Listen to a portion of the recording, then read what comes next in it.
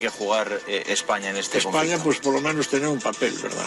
Porque desgraciadamente lo que no hemos tenido es ningún papel, lo cual es normal y comprensible. Que decir, mucha gente se escandaliza y dice es que no han llamado al presidente de gobierno, llaman al de Polonia. Claro, nosotros tenemos comunistas en el gobierno. Entonces, el tener comunistas en el gobierno implica un distanciamiento, una desconfianza y yo creo que incluso una lejanía eh, por parte de los gobiernos eh, occidentales, las primeras potencias occidentales, sobre todo Estados Unidos. Claro, al presidente americano su servicio de información indica de que si da a España datos, esos datos pueden llegar a Venezuela, pueden llegar a Cuba, pueden llegar a Rusia, pueden llegar a Irán. ¿Por qué? Porque hay ministros de partidos políticos que eh, son partidos políticos que comparten la ideología, incluso en su momento han estado financiados por Venezuela, por Irán, por los enemigos clásicos tal.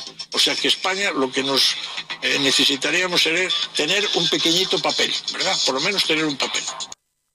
Bienvenidos una semana más al Mundo al Rojo, el programa que cuentan lo que otros callan. Y si ustedes nos están viendo en estos instantes, que sepan que están en contacto con la resistencia, sí señores, con esa resistencia que jamás se pondrá de rodillas ante el marxismo cultural. Pues ya lo han escuchado al señor Francisco Vázquez, el que fue alcalde de La Coruña, no de A Coruña como dicen algunos, de La Coruña en español, hay que decirlo bien, en español, La Coruña. Hablando claramente, no se fía nadie de Sánchez porque tiene en su gobierno comunistas y nuestros aliados no se fían de Sánchez, no se fían y le dejan aislado de todas las reuniones de la OTAN. ¿Por qué? Porque tiene una quinta columna dentro de su gobierno. Porque los comunistas que gobiernan con Sánchez, amigos, pues son parte de ese sistema eh, anti-occidente en el cual pues está Putin y luego el resto de países, pues, digamos, no alineados, como se decía antes, más bien países comunistas. Es cierto que Vladimir Putin, o la Rusia actual, no es un régimen comunista, como dicen algunos, pero sí que tiene aliados comunistas y en el gobierno de España pues eh, están claramente. Y todo el mundo se pregunta qué está haciendo Putin, qué está haciendo en, en Ucrania. Hoy lo veremos. Hoy lo veremos, amigos, porque parecía que iba a ser una victoria, un paseo triunfal, y están los ucranianos dándole duro al ejército ruso, pero vamos a ir viendo los siguientes pasos que ha dado el sátrapa de los Urales para pues, cambiar el, el turno de la guerra. En definitiva, hoy tenemos un programa donde vamos a hablar de muchas cosas. Va a aprovechar Sánchez este enfrentamiento con Podemos para convocar elecciones. Atención que esto es muy importante porque Sánchez ha hecho un giro de 180 grados respecto a lo largo de la semana donde decía que no iba a entregar armas a Ucrania porque era una de las cosas que le pedía Podemos y ahora de repente entrega armas. Y Podemos está cambiando su discurso porque ve que se le echa a todo el mundo encima. Pero sabemos de dónde viene Podemos y sabemos dónde quiere llegar.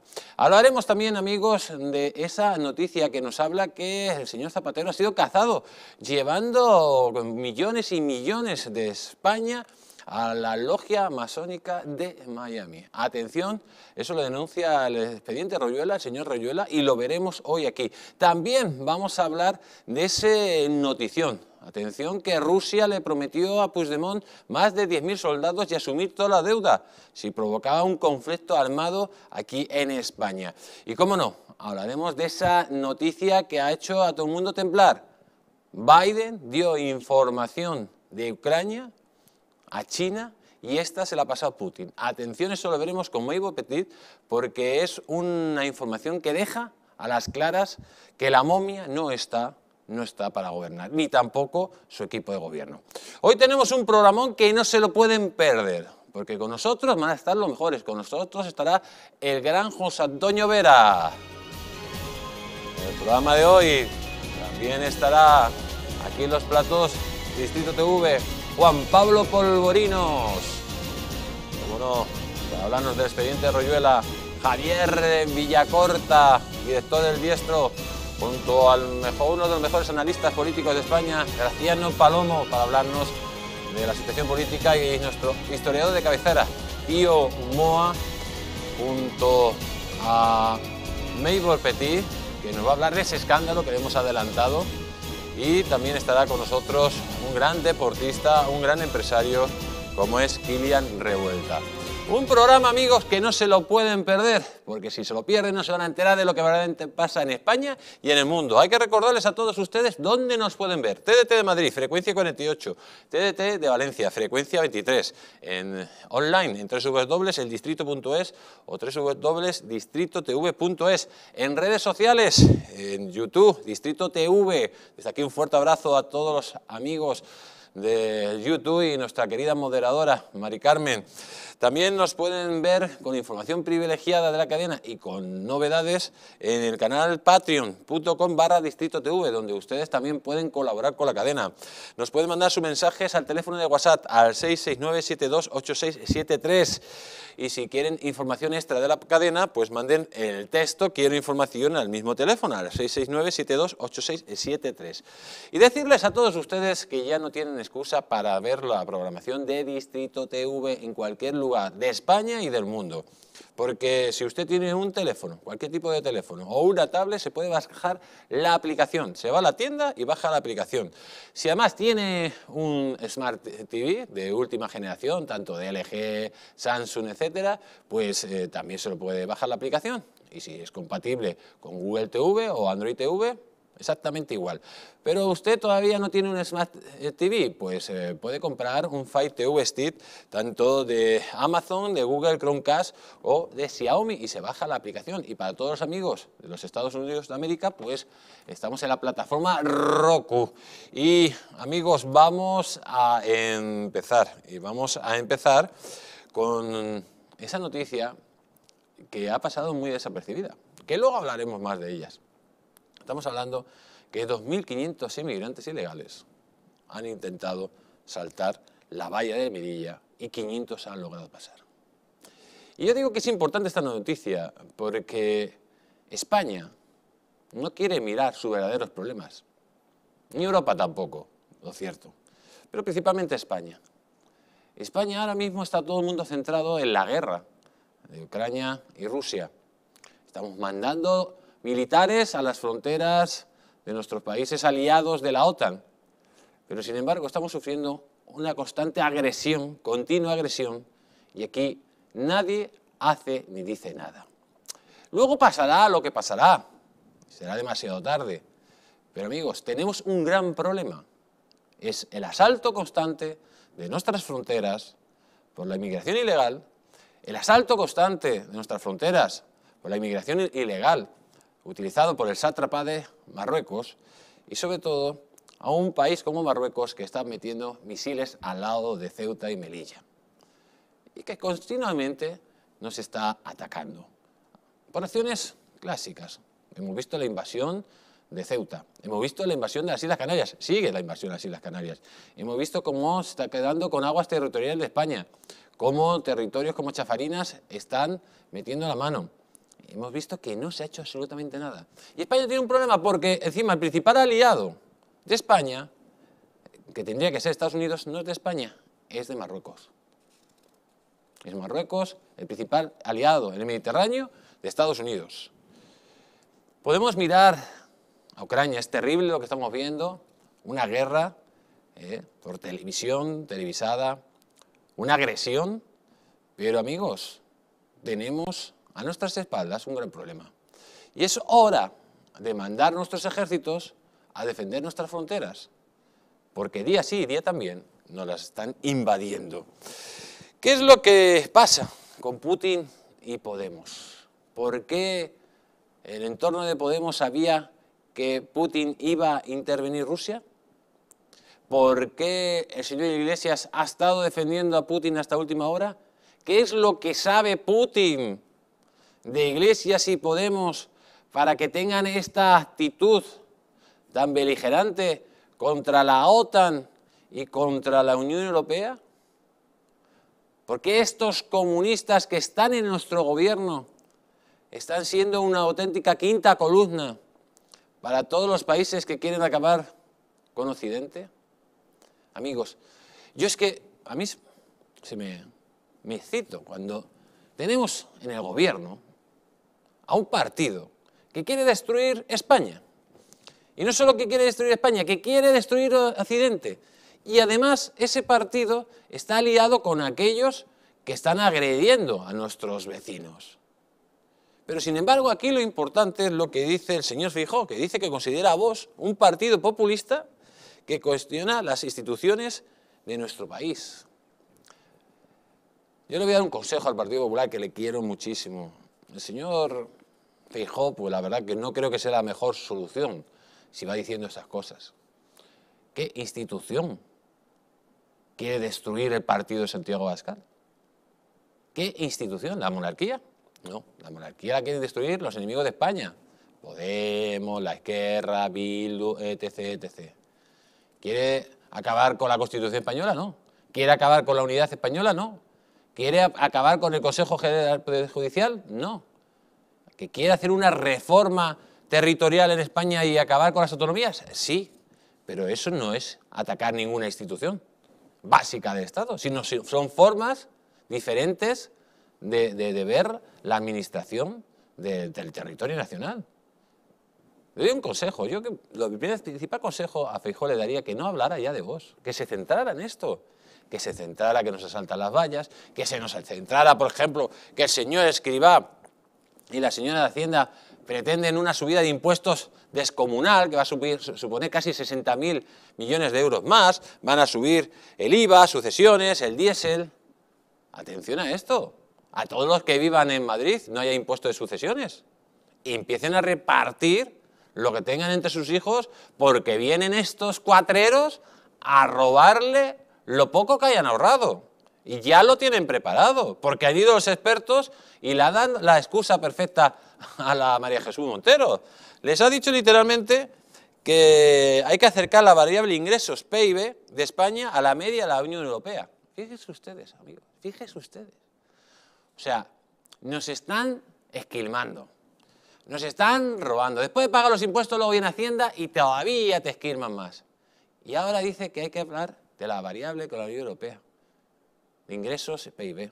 Miren, señores, aquí lo que hay que hacer es quitar a toda la chusma, a todos los chiringuitos que no producen nada al Estado. Porque esta gente lo único que produce es pobreza. ¿Por qué no empezamos a quitar 500 millones del Ministerio de Igualdad, que no sirve para nada? ¿Por qué no dejamos, señor Escribá, de dar esos 14.000 millones en subvenciones que usted mismo decía que no servían para nada y no sabían el resultado final? ¿Por qué no empezamos a reducir la administración pública y dejamos de contratar funcionarios, funcionarios? Claro, dice, no crece el paro si acaba de contratar casi 600.000 funcionarios más. Eso da lo mismo, hay que seguir esquilmando. En un momento de pandemia es el momento de mayor recaudación que ha tenido España. ¿Pero usted cree que esto sirve para algo? ¿Para tener mejores servicios? ¿Vamos a la justicia y nos atienden en condiciones? ¿Vamos a sanidad y nos atienden en condiciones? ¿Vamos a las escuelas públicas que las han destrozado estos tipos con esas leyes infames?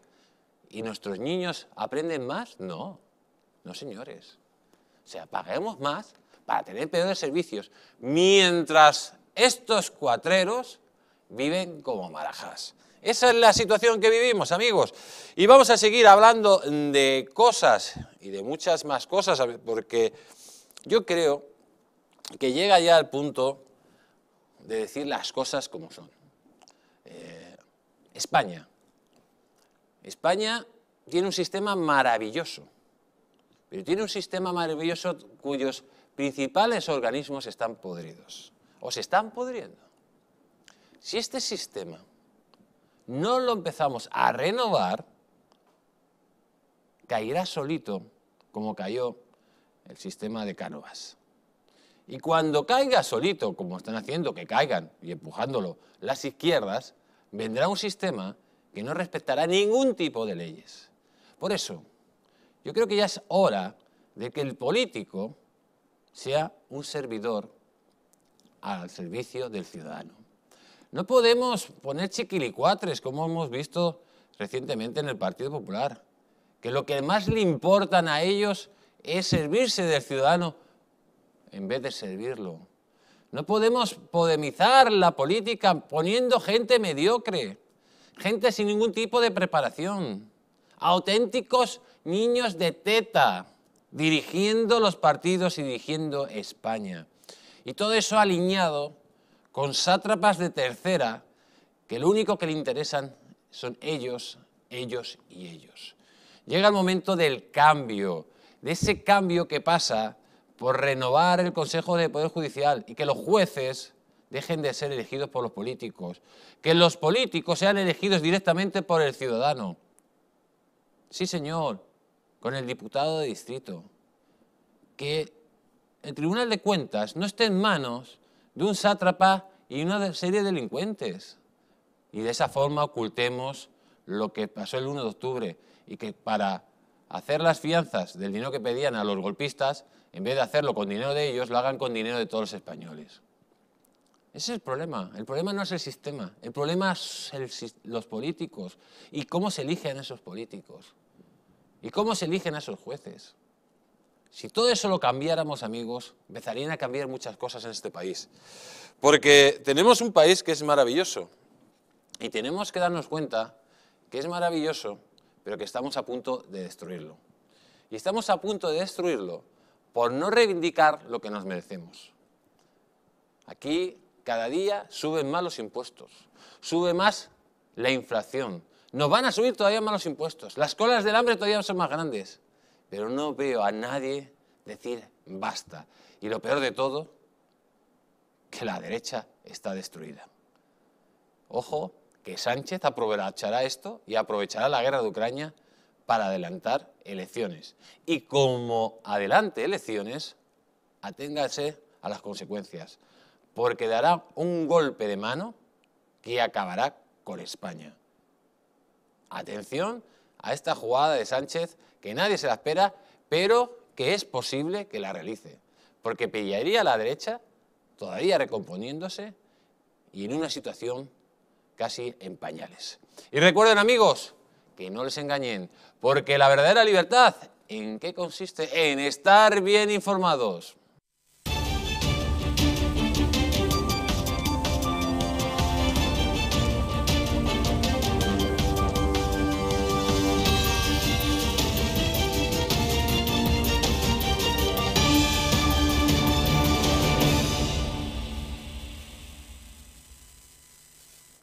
Y vamos a empezar, vamos a empezar porque son muchísimas las cosas que tenemos que hablar y sobre todo vamos a hablar de la nueva cúpula o de la presunta nueva cúpula del Partido Popular.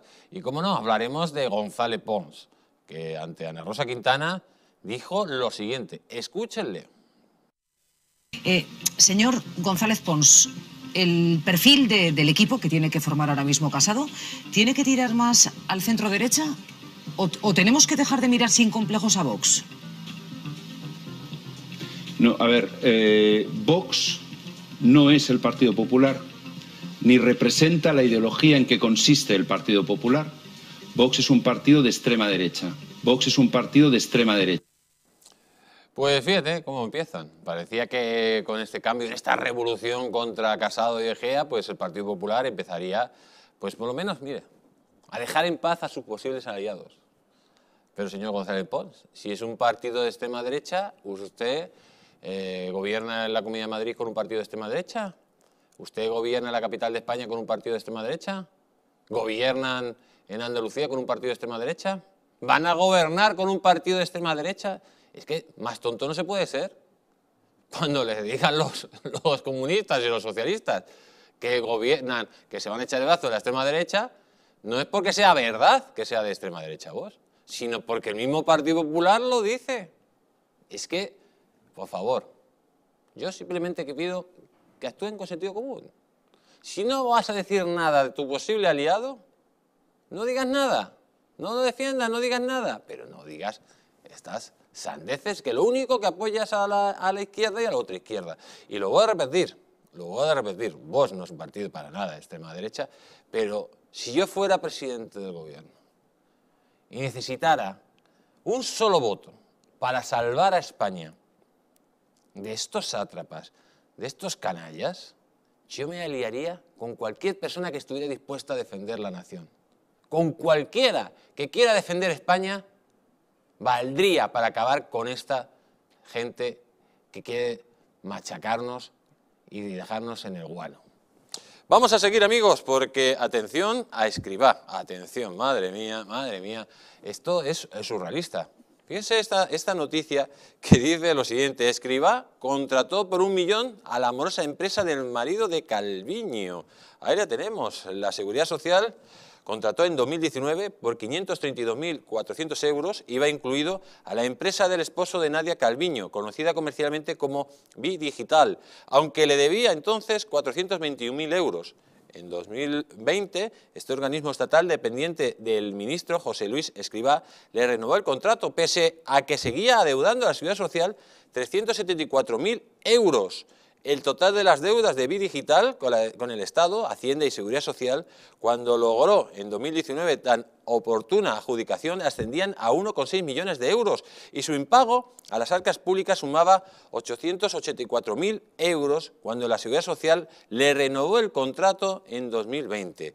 Esta última cifra morosa con las arcas estatales de la empresa del cónyuge de la vicepresidenta económica rozaba el dinero recibido del Ministerio de Escriba en esos dos años, un millón de euros. Hay que decir que la ley de contratos del Estado prohíbe tajatamente las adjudicaciones a empresas que no estén al corriente de pagos con el fisco y la seguridad social. Sin embargo, la amorosa firma Bidigital no solo ha cazado, ha cazado tal contrato, sino el carnet de agente digitalizador que le convierte en embudo oficial para captar ayudas del fondo de 3.000 millones de euros. Pues, amigos, quien reparte se lleva la mejor parte. Es increíble, esto es un delito de prevaricación total. Yo he ido a multitud de contratos públicos. incluso, como tuviera una multa con el Ayuntamiento de Madrid, te denegaban ese contrato o esa subvención. Así es. O sea, como tenga usted cualquier tipo de deuda, primero no tiene acceso. Tiene que presentar que no tiene deudas ni con Hacienda ni con la Seguridad Social. Y esto es de juzgado de guardia. Yo no sé qué esperan los partidos políticos a denunciarlo y a llevarlo a un juzgado. Porque hay que imputar al señor Escriba porque aquí alguien de su ministerio o él mismo ha cometido un delito. Si esto es verdad, mañana mismo hay que ir al juzgado de guardia y poner una querella contra estos tipos. Porque esto es de perogrullo. O sea, esto no es interpretación. Esto es que no pueden darte un contrato, una administración pública, si usted tiene deudas con Hacienda o la Seguridad Social. Pero aquí todo vale. Estos hacen lo que quieren, como quieren. Y el imperio de la ley con los socialistas no existe. Eso sí, ojo, eh, ojo, no mire, no mire usted o no deba un céntimo a Hacienda, ¿eh? No deba un céntimo, que le mandan 50 cartas y encima le llaman defraudador. Así están las cosas. Y vamos a seguir porque, imagínense, estamos hablando de que, bueno, Escribá, pues ha hecho de las suyas, pero tenemos también problemas muy serios, muy serios en la valla de Melilla. Vamos a ver el siguiente vídeo, amigos, que yo creo que hay que verlo, porque ya está bien lo que está pasando. No podemos mirar hacia otro lado. Esto es un problema muy serio que tenemos en España. Y tarde o temprano esto va a saltar por los aires. Vamos a ver el siguiente vídeo de donde más de 2.500 inmigrantes intentaron asaltar la valla de Melilla y solo 500 lo lograron. Ahí tenemos eh, cómo llegan felices y contentos y sobre todo, atención, según la Guardia Civil, toda esta gente atacó a los defensores con gacios y con armas blancas. Y es que no es la primera vez que pasa esto. Ahí lo tenemos los gacios, ahí los tenemos. Yo, amigos, lo voy a repetir. Las fronteras, si tenemos un ejército, que no dejan actuar. Si tenemos unas fuerzas de seguridad del Estado que están en una situación precaria, tarde o temprano, tarde o temprano nuestras fronteras van a dejar de ser nuestras fronteras y serán territorios de otros. Porque esto no es normal. Esto no es normal. O sea, en ningún país, cuando ustedes ven que pasan la frontera en Estados Unidos, vamos, ¿van a pasar la frontera de esa forma violenta? ¿Atacando a los guardias? Es que directamente los disparan. Y se acabó. Se acabaron los asaltos a la valla. Es que si ustedes, esa valla, si, si la están saltando, pongamos otras medidas. Hay multitud de medidas. Además, persuasivas, que evitaría también que los mismos asaltantes pues no sufrieran ningún daño. Pero no, hay que seguir eh, poniendo en peligro a nuestros policías. Vamos a seguir porque otra de corrupción. Ayuso compró 250.000 mascarillas y Ayuso ha sido investigada, pero sin embargo Ábalos compró 13 millones y nadie lo investiga. Isabel Díaz Ayuso compró 250.000 mascarillas. Supongo que para proteger a los sanitarios, funcionarios, etcétera, de la Comunidad de Madrid, que tienen más de 7 millones de habitantes y es la más rica y próspera de España. El importe de la compra ascendió a un millón y medio de euros. Sin embargo, José Luis Ábalos, y omito el don, porque no creo que lo merezca, compró 13 millones de mascarillas con cargo al Ministerio de su titularidad, operación en la que se desembolsaron más de 40 millones de euros que se dice pronto. Ayuso ha sido investigada por su propio partido, más bien por los secuaces de Casado, pagándole los detectives privados correspondientes con dinero de la empresa municipal de la vivienda de Madrid y con una Almeida que no da la cara, señal de que tiene algo que esconder.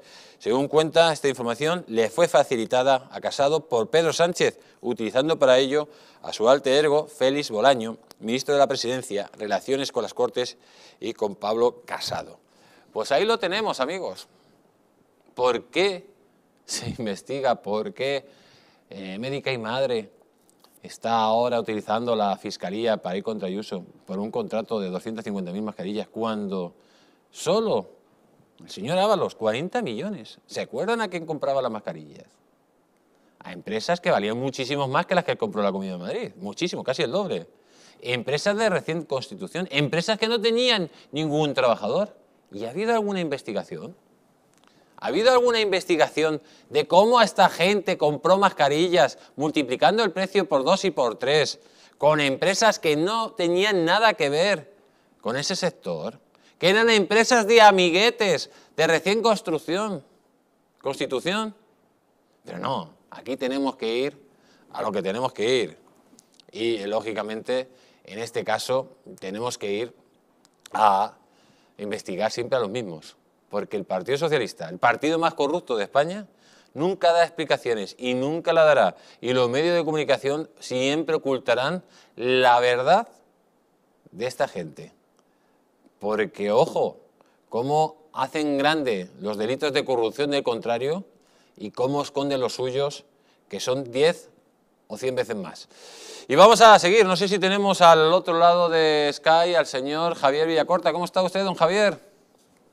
Hola Jesús, ¿cómo estás? Buenas noches. Buenas noches, Javier. Hoy muchísimas cosas que tenemos que hablar del expediente Royuela y yo quiero leerte la siguiente noticia. Dice el expediente Royuela y el caso del Bar España, vidas paralelas.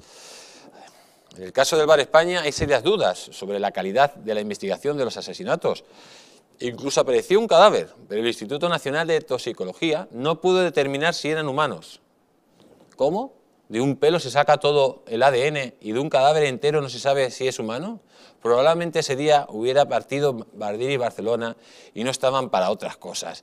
Señor Villacorta, ¿qué es esto del Bar España y qué pasó exactamente ahí y por qué no se ha tenido en cuenta los testimonios de los testigos para resolver este caso?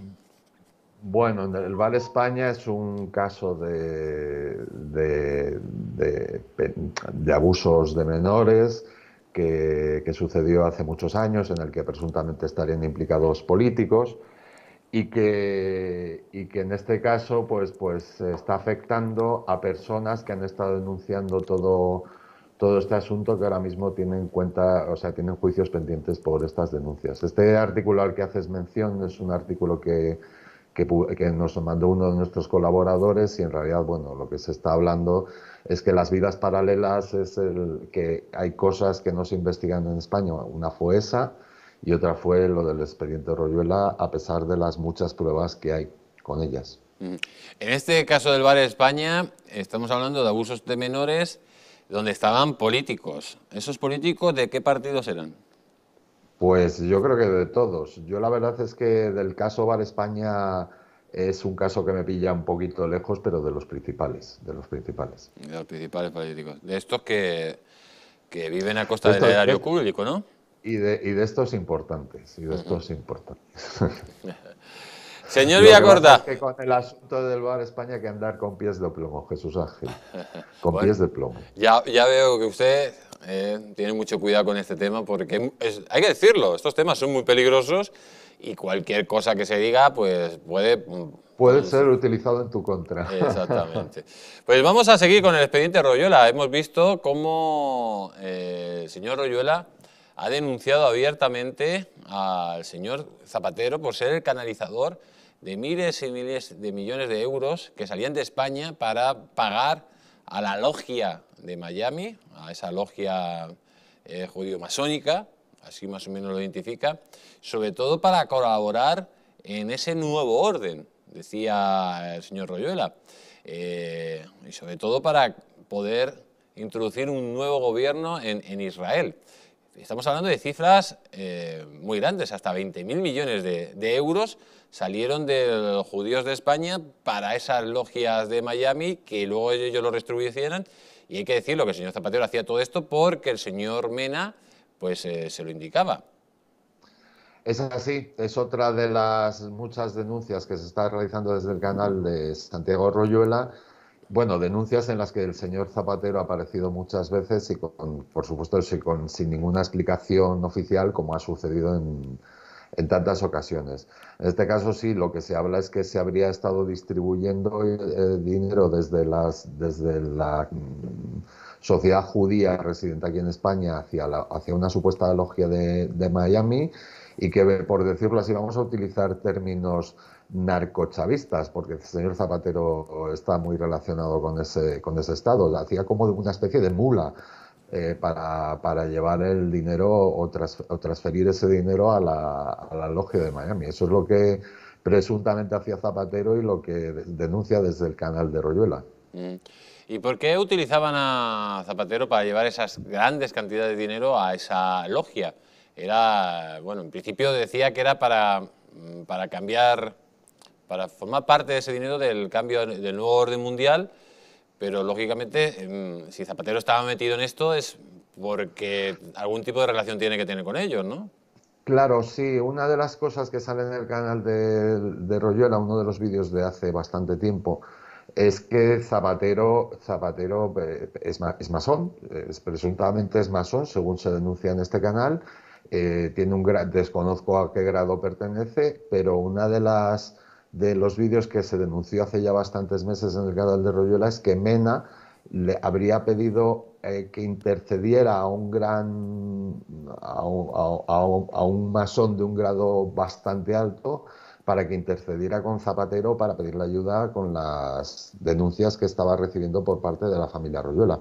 Entonces supongo que estará relacionado con el tema con el tema masónico, porque en realidad si estamos hablando de la logia de Miami, pues entiendo que estemos hablando de, lo mismo y esa será la relación. En realidad, si te das cuenta, Jesús Ángel, esto desde que Zapatero ha dejado de ser presidente del gobierno, no ha hecho más que ejercer de mero intermediario en muchos países. Eh, véase Cuba, véase lo que está haciendo en Venezuela y perdón, y véase lo que pertenece a la... Véase con qué tipo de gente se relaciona en estos momentos el expresidente. Es decir, la intermediación ha formado parte de los negocios de Zapatero desde que, desde que ha dejado de ser presidente. Supongo yo que este será otro de ellos. Y además eh, es un negocio de intermediación que se lo pide Mena. Pero ¿por qué mm, Mena eh, está entre medios de esa lógica, logia masónica y de la parte de, la ciudadanía judía que, reciben cantidades multimillonarias. Eh, ¿Qué relación tiene esa, esa cúpula judía española con la masonería? ¿Es parte del sionismo o, simplemente porque, claro, eh, una cosa es el sionismo y otra es la comunidad judía, que no tiene nada que ver con el judaísmo? Efectivamente, pero ya ahí ya entro en terrenos que desconozco. La, yo lo que, lo que sí sé, por lo que se ha denunciado a través del canal de Santiago Arroyola, es que mm, vamos a ponerlo en términos, términos, comerciales, como que Mena sería mm, el, el representante de esa logia de, Miami en, España. Y al parecer todos los negocios que se encargaban de realizar en España se encargaban a través de Mena. Supongo que a través de, ahí vendrían sus relaciones con Zapatero y supongo que lo, que lo que querrían es una especie de financiación para Dios sabe qué, que casi es preferible hasta no saber pero la relación, la relación de Mena con la logia de Miami es porque era, por decirlo así, el representante de esa logia en España. Y ya una última pregunta para terminar con este tema, luego vamos a seguir con otros. Ese dinero, esas cantidades tan grandes de dinero que se sacaron de España, eh, ¿era un dinero fraudulento, era dinero clandestino o, o, era dinero totalmente legal? Porque lógicamente si sacas el dinero eh, habrá eh, una referencia, digamos, en Hacienda, ¿no? Bueno, pues eh, yo creo que no. yo creo que no. desconocemos, por supuesto, el origen de todo ese dinero y, en realidad el destino, porque la logia de Miami es un ente, pero estará formado por, personas que no sabemos quiénes son, desde luego.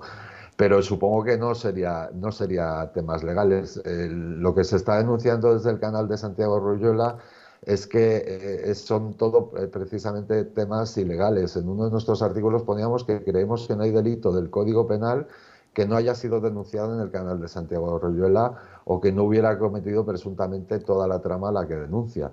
Entonces, mm, me extraña a mí que este dinero del que se está hablando venga de una fuente, sea dinero, por decirlo así, limpio. Me da la sensación de que de limpio no tendría nada. Pero bueno, eso es algo que hasta eh, que desconozco porque me imagino que sería que sería de varias vendría por varias vías por decirlo así pues ya tenemos trabajo para la señora María Jesús Montero y para sus cuatreros de Hacienda en vez de perseguir a los pequeños y medianos empresarios, pues que siga eh, ese dinero que seguramente podrá recaudar mucho más.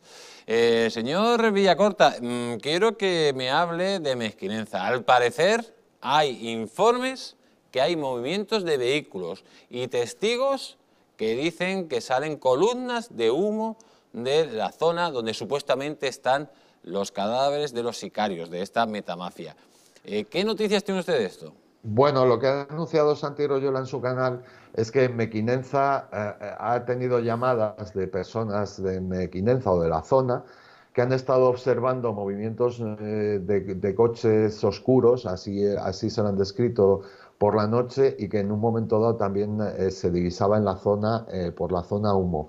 Eso es algo que Santi, por supuesto, no puede probar, porque a Santi se lo han contado. Aquí sí que estamos hablando de contárselo y no estamos hablando de que tenga ninguna prueba ni documental, ni ningún vídeo, vamos, que no hay ninguna prueba más que la, la versión que nos da Santiago Royola sobre el asunto. Entonces, al parecer habría habido movimientos de personas por la noche, movimientos de coches, de coches oscuros para ser más exactos, y sí, al parecer se habría divisado humo eh, a lo largo de esos movimientos.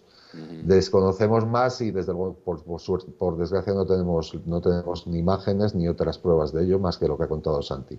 Pero bueno, eh, si se está diciendo, o se está insinuando que hay columnas de humo, que hay gente que se está moviendo por allí y que supuestamente ahí hay cientos de personas o decenas de personas enterradas que han sido asesinadas, ¿por qué no va la Guardia Civil o alguien a comprobarlo?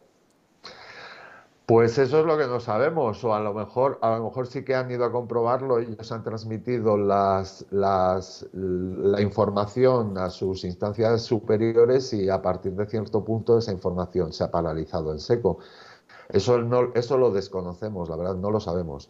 Pero lo que es evidente es que, bueno, eh, ahí ha habido una denuncia, porque es cierto que se presentó una denuncia en el cuartel de la Guardia Civil de Mequinencia, y de momento no se tiene noticia de las pesquisas que se puedan haber realizado en cuanto a esa denuncia. Entonces habrá que esperar a ver. Eh, estuvo el señor eh, Royuela declarando en, Barcelona. Al parecer mm, no le admitieron las pruebas que tenía sobre todo el tema del expediente, ¿no? No, no, no, no. Es algo curioso porque eh, la denuncia venía presentada por eh, quien en teoría se habría encargado de hacer los informes forenses o de alterar los informes forenses presuntamente después de los, de los presuntos asesinatos cometidos por la metamafia, la que denuncia a Royuela. Y, cuando, cuando ha ido Santiago Royola a declarar ese juicio y ha, ha pretendido presentar la documentación original de la, en la que se basa para esas denuncias que ha realizado a través de YouTube, el juez, al parecer, según nos ha contado Santiago Royola, eh, habrá que ver la grabación, que lógicamente las los juzgados eh, hacen grabaciones. Eh, habrá que ver la grabación, pero el juez se ha negado a recoger esa, esa documentación que se le entregaba. Es decir, se ha negado a recoger unas pruebas que se le presentan en un juicio. Eso es algo que, ha denunciado también el, Santiago Royola y que no, no conseguimos entender, la verdad, si es así. Y por último, va a haber una manifestación, prepara una manifestación para aquí en Madrid, aquí la tenemos la noticia. ¿Cuándo va a ser y, cuál va a ser su objetivo? Bueno, en principio se baraja que sea, que sea hacia mediados del mes de mayo. Hablaban del fin de semana del 14, del 13-14, pero bueno, se, se, está, se está barajando varias fechas porque, en primer lugar, tendrán que pedir autorización para esa manifestación, pero aparte Supongo que el 15 de, el 15 de mayo, que yo sepa, San Isidro en Madrid, supongo que lo trasladarán a otro día y, tendrán que pedir la, autorización. Hombre, lo que se va a pedir en la, en la manifestación, lo, primero que yo creo que quieren hacer desde el canal de, desde el canal del Expediente Royola es, es, ver un poco la capacidad de movilización real que tiene el propio canal a nivel, a nivel masa crítica. Pero también lo que se va a pedir a partir de ese momento es la, investigación judicial de todo lo que se está denunciando en el expediente Royola. Es decir, no se va a pedir que se tome como real lo que se está diciendo desde este canal, sino que se va a pedir que lo que se está diciendo desde este canal es lo que, lo que hemos dicho en cada semana que hemos intervenido, Jesús Ángel, que se investigue, sin más, que se, que se investigue. Si no estamos diciendo que algo sea cierto o falso, lo que, lo que decimos es que algo que se denuncia como lo que se está denunciando hay que investigarlo. Pues efectivamente, Javier, hay que investigarlo, pero hay algunos que no quieren investigar, porque cuando se investiga, ¿sabes lo que pasa? Que se pueden descubrir cosas que, uno no, quiere. Don Javier Villacorta, director del Diestro, muchísimas gracias por haber estado aquí en el Mundo al Rojo. Un fuerte abrazo. Un fuerte abrazo, Jesús Ángel. Hasta luego. Adiós. Y amigos, antes de irnos de publicidad, vamos a darles un consejo. Si tienen problemas de descanso, respiran mal y quieren mejorar su calidad de vida, ha llegado la nueva generación de regeneradores celulares y depuradores. Si quieres que tu casa sea el lugar más seguro, libre de coronavirus, bacterias y sustancias nocivas, BioEnergy es la solución. Con su sistema de filtrado, el más potente del mercado y su sistema de ionización, conseguirás que en tu casa estés como en plena naturaleza. Si tienes problemas de asma, alergia, EPOT, mala circulación o descansas mal, llama al teléfono de Bioenergy y te informaremos. Además, estamos con precio de lanzamiento de un 50% de descuento. Sí, has oído bien, un 50% de descuento. Llama ahora al teléfono 676-646-178 y recuerda que Bioenergy mejora tu vida y la de tu familia. Y amigos, nos vamos a publicidad, pero no se vayan, porque va a venir Graciano Palomo, va a venir José Antonio Vera, el señor Juan Pablo Polvorinos y Pío Moa. Y vamos a empezar a hablar de si Sánchez está aprovechando la guerra de Ucrania para dar un golpe de mano y convocar elecciones. Ese enfrentamiento con Podemos, ese Podemos que es fiel sicario del régimen de Putin, amigos, va a utilizarlo el señor Sánchez para convocar elecciones. Y luego también vamos a hablar qué sabe Putin de Podemos e Iglesias para que estos tipos estén defendiendo a capa y espada la invasión en Ucrania. Vamos a verlo todo después de la publicidad. Y sobre todo, amigos, le vamos a contar lo que pasa en Ucrania sin mentiras, sin ninguna mentira. No vamos a darle la información que están dando la mayoría de los medios de información, que nos están contando unos cuentos chinos mandarinos. Nos vamos a publicidad y volvemos.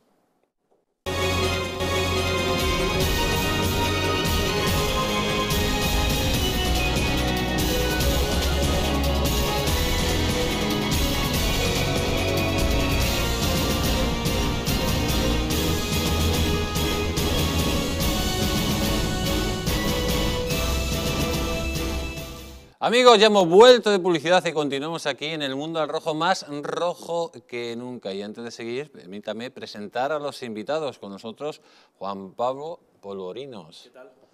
¿Cómo ¿Qué estamos? tal? ¿Cómo está el, Muy bien, el- estupendamente. el presentador de radio que mejor da las noticias de 2 a 3 de la tarde en el radio? Un poco exagerado eso, pero está bien, bueno, me gusta, sí, sí, sí, hay que Hombre, escucharlo. si no es usted el mejor Sí, de 2 sí, a sí. 3 en el radio, Eso es verdad, es verdad. Es la No franja, exagerado nada, no la franja más escuchada en el radio a esa hora, sí, sí, es verdad, eso es cierto. ¿cómo, ¿cómo ve la situación? Pues muy difícil, muy complicada. Ahora tendremos tiempo y oportunidad de comentarlo en detalle, pero estamos en, en uno de los momentos más críticos de nuestra historia reciente sin ningún tipo de dudas. ¿Le gusta a usted Anastasia? A mí Anastasia me gusta. Lo que pasa es que me parece que, bueno, aquí en Europa todavía no han quitado la película, pero en Estados Unidos ya la han quitado Disney Plus. Es que en Estados Unidos son tiene un problema Disney con muchas cosas, sí, efectivamente. Señor José Antonio Vera, ¿cómo está usted? Muy bien, no también usted que está siempre impecable. Ah, muchas gracias, por lo que me toca. Eh, la misma pregunta, ¿cómo ve esta situación? Eh, No, yo lo veo- Ya, ya no prebélica, sino bélica, Sí, con yo- un gobierno español dividido totalmente. Pues yo la veo peor, no, lo siguiente. Lo siguiente. ¿Y cómo solucionaría usted todo esto? A mí me gustaría, entonces no estaría aquí, sino igual estaba en la Casa Blanca o no, aquí prefiero no Bueno, estar. la o sea Casa que- Blanca, mejor que lo que Mejor hay. no estar. Y en el otro lado mm, tampoco. O sea que, no, no, tiene difícil solución, ¿eh? Difícil solución. Pues vamos a ver, vamos a ver si lo solucionamos o por lo menos damos ideas. Vamos a conectar con nuestro querido Graciano Palomo. Buenas noches, don Graciano, ¿cómo está usted? Muy buenas noches, muy bien, bien hallados todos, a usted y a la- esa insigne compañía que le secunda. Aquí le están oyendo. Don Graciano Palomo, eh, le quiero preguntar lo siguiente. Esa reunión, dicen que Biden echa a Sánchez de otra alianza en plena guerra por el papelón de Podemos. ¿Qué pasó en esa reunión? Que de nuevo a Sánchez no le llaman ni, ni, ni queriendo. Quería utilizar esta guerra de Ucrania para acercar posiciones con la OTAN y con el señor Biden, pero es un apestado. Lógicamente es normal que sea un apestado cuando tenemos una quinta columna de Putin en el gobierno, ¿no? Bueno, esa debe ser la razón porque en realidad Sánchez, bueno, sí que todavía tiene quien le escriba, desde luego, eh, parodiando la novela de, del Gabo García Márquez, ¿no? Eh, pero es evidente, claro, que tener, bueno, que no solamente es que son convictos y confesos eh, comunistas, lo dicen ellos, no lo digo yo, que tampoco llevo, voy, por, con, voy con orejeras por el mundo, ¿no? Pero es que, mm, no sé, tampoco sé si sus coleguillas mundiales, de los pocos que quedan, eh, mantienen esas posiciones, porque, por ejemplo, el jefe de todos ellos, que es Pablo Iglesias, eh, le he leído un tuit en el que viene a decir, por corto y por derecho y en Román Paladino, que lo que tienen que hacer los ucranianos es rendirse. Y después está eh, la señora Belarra, que es una, un premio Nobel de, pasado por las aulas de Cambridge, como todo el mundo sabe, pues que da lecciones de geopolítica y no digamos ya doña Irene Montero, que eh, eh, mientras hacía la caja en el supermercado, pues estaba leyendo a Schumpeter. Bueno, dicho esto, que es normal, porque es que mm, eso de comunistas en el gobierno no se lleva por el mundo libre. Pero en el caso de este conflicto, que es un tema extraordinariamente serio y, por supuesto, eh, histórico, es que llama poderosísimamente la atención, porque ayer ni siquiera los venezolanos, ni los cubanos, ni los chinos en, en Naciones Unidas apostaron por, por Putin. Y sin embargo aquí, es decir, lo intentan blanquear de alguna manera, pero desde luego la posición está clara de los garzones y del otro que es el más peligroso, que es el secretario general actual del Partido Comunista de España y que es el cerebro de que, que es secretario de Estado y a la vez diputado, con un par. Bueno, eh, no me acuerdo ahora cómo se llama y tampoco voy a hacer demasiado esfuerzo. Santiago. Eh, por- Sa- San- eh, sí, de San- Santiago, de- de Santiago. De Santiago. Enrique y- de Santiago. Eso es, Enrique de Santiago y cierra Moscú. Bien, entonces, eh, que esos, claro, es que con esos eh, compañeros, pero sin embargo, yo debo decir que tampoco me significo por darle botafumeiro al presidente Sánchez, ¿no? Pero debo decir que quizá el, eh, su discurso de ayer en, en el Congreso ha sido el mejor de los que ha pronunciado, por lo menos desde que es eh, primer ministro de España. ¿eh? O sea, quiero decir que lo, los eh, desafió, sabía perfectamente qué tal. Claro que, este hombre tampoco da puntada sin hilo, porque hay gente que le considera ágrafo y átono y todo eso, pero no da puntada sin hilo, porque es evidente que eh, había pactado la posición de enviar armas ofensivas, lo cual no deja de ser una gilipollez, porque todas las armas eh, son ofensivas. Es decir, mm. aunque las utilices para defenderte, son ofensivas.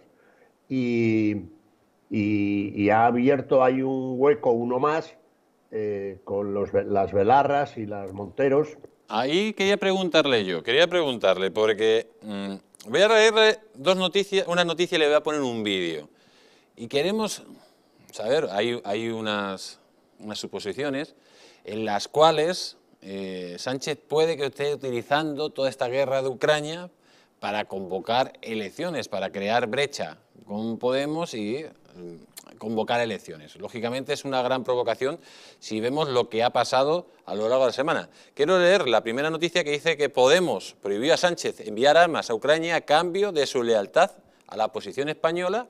¿Qué pasó desde aquí hasta lo siguiente? Porque si vemos el siguiente vídeo, vemos ya cómo eh, han empezado a, mandar armas, ha habido envío de armas en Ucrania y además de una forma secreta, vía la Comisión de Industria. Vamos a escucharlo.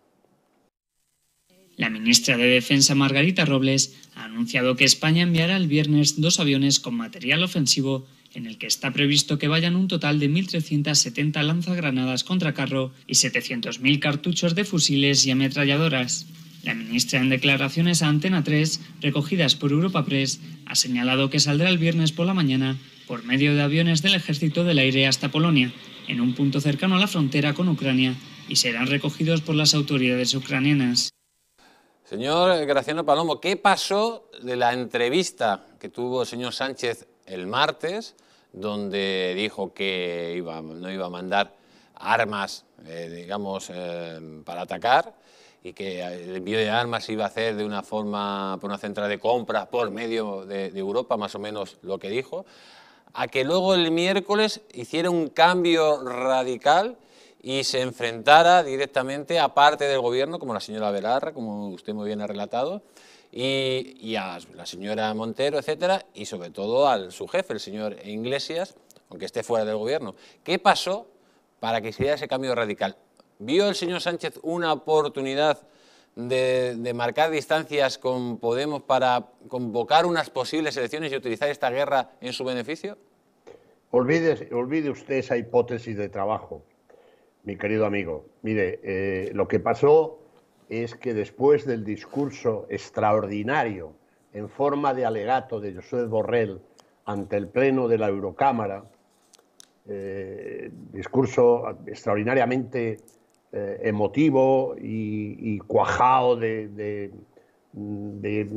leyendas históricas, eh, Sánchez quedó en, absolutamente en entredicho. Y por la información que yo tengo, eh, la presidenta de la comisión, Ursula von der Leyen, el secretario general de la NATO y el propio Borrell hablaron con Sánchez. No es verosímil pensar que Sánchez, que es el jefe del gobierno, mientras no se demuestre lo contrario, eh, que tiene toda la autoritas y toda la potestas para dictar la política exterior y, por, supuesto, la política de defensa en un tema tan clavo como este, que está el mundo libre, que es casi todo, como se demostró ayer en Naciones Unidas, eh, la señora Belarra o la señora Montero o el señor Garzón le van a cambiar el paso, en modo alguno entre otras cosas porque tiene perfecta, perfectamente claro que por mucho que amenacen, eh, organicen algarabía, remuevan braserillos, hagan aspavientos, ninguna, ninguno, ni el señor Garzón, ni la señora Montero, ni la señora Belarra, van a ser, tienen el cuajo suficiente para dejar sus poltronas y sus coches oficiales, sus gastos reservados y sus sueldos de puta madre. Es decir, que eso está clarísimo. A Sánchez le tuerce el brazo mucho Borrell ¿eh? y eh, después el acongoje que le supone que le llame el secretario general de la NATO y le llame la presidenta de la comisión. No hay que olvidar que España depende del agua que nos manden desde Bruselas. Esto es lo que pasó. y además sabe perfectamente que eh, tiene una amplísima mayoría en la Cámara y que además puede descuartizar, como parece ser, el hecho de ese conglomerado rarísimo que se llama Podemos. Convocar elecciones, yo creo que no, yo creo que la propia posición, si se analizan, que produce escándalo ajeno y vergüenza ajena de unas madres que son, eh, Montero, no sé si Velarra es madre o no, pero da lo mismo, eh, que están viendo en la televisión cómo asesinan, masacran a la población civil, asesinan niños, eh, se pueden salir por el mundo con la cabeza alta y pueden respirar el aire, el aire puro sin que les produzca vómito, ¿no? Es decir, es que esto ni Cuba apoyó ayer eh, eh, a Putin, ni Venezuela, solamente cuatro países al que a una persona decente no le gustaría pertenecer en ese club, que fue eh, Corea del Norte, Eritrea y Siria, y alguno más. Pero mm, eso frente a una inmensa mayoría. Por lo tanto, no, yo, eso, la, pregunta eh, con trampa saducea que usted hace, eh, no, no me parece un análisis correcto, sencillamente porque Sánchez los desprecia y sabe que por mucho que le amenacen, ¿Dónde van a ir? ¿Otra vez al supermercado? ¿Dónde van? ¿Al movimiento Ocupa? ¿Dónde van esta gente? Si está viviendo como nunca había eh, soñado. Y no se engañen. Ese intento de blanqueo, de decir que Putin es mm, de no sé qué, de, de Vox y todo eso, es que es una ridiculez. Putin ha sido y es un comunista del libro, pero nada más hay que ver, eh, leer algo de la historia. Entonces, bueno, claro, eh, como dice el presidente Zelensky, un héroe, un comandante en jefe donde los haya, después de Ucrania, que acabarán, si no doblegándola, venciéndola militarmente por razones obvias, eh, así se las ponían a Fernando VII, eh, irán a por las repúblicas bálticas y donde le salga de la entrepierna el señor Putin. Esto es así, vamos. Señor Graciano Palomo, muchísimas gracias por haber estado en el Mundo del Rojo. Un fuerte abrazo y cuídese mucho. Igualmente y saludos a todos. Adiós. De su parte. Señor José Antonio Vera, em, ¿es Putin comunista?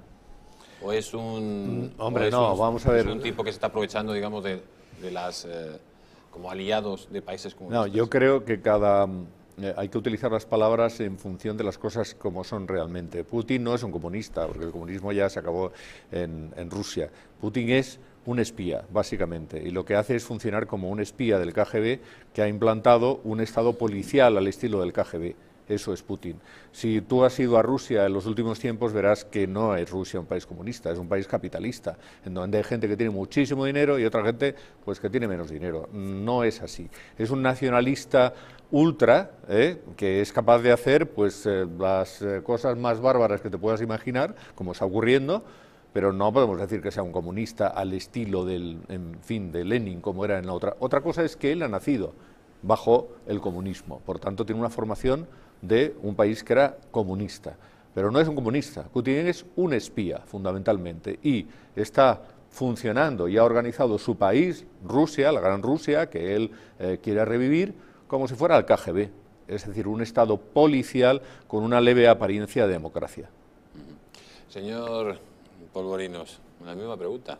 ¿Usted cree que es comunista, que no es comunista? Yo tengo que decir que, que discrepo de José Antonio. Vamos a ver, yo creo que sí, Putin es un, es un comunista. Lo que pasa es que el comunismo eh, no, es, eh, no es un comunista como lo era eh, Lenin, como lo era Stalin, como lo era Brezhnev, no, no, no es ese tipo de, comunismo. El comunismo cambia, el comunismo evoluciona. Quiero decir, si miramos a Xi Jinping no tendremos ninguna duda de que él es un comunista. Lo que pasa es que han transformado su país para que el capitalismo apoye al comunismo desde dentro. el, Partido Único en China es el Partido Comunista. Sí, sí, desde luego, desde luego. Lo que pasa es que el comunismo también se traviste. Y en, Rusia está diríamos comunista que, está en contra de Putin. ¿Diríamos que Nicolás Maduro es comunista? Sí. Diríamos que mm, Fidel Castro era comunista. Sí, Fidel Castro sí, porque es eh, de hace más tiempo. Diríamos La que el actual también, presidente ¿eh? de Cuba era comuni- es comunista. Yo creo que sí es comunista. Eh, lo creo porque lo ha sido siempre.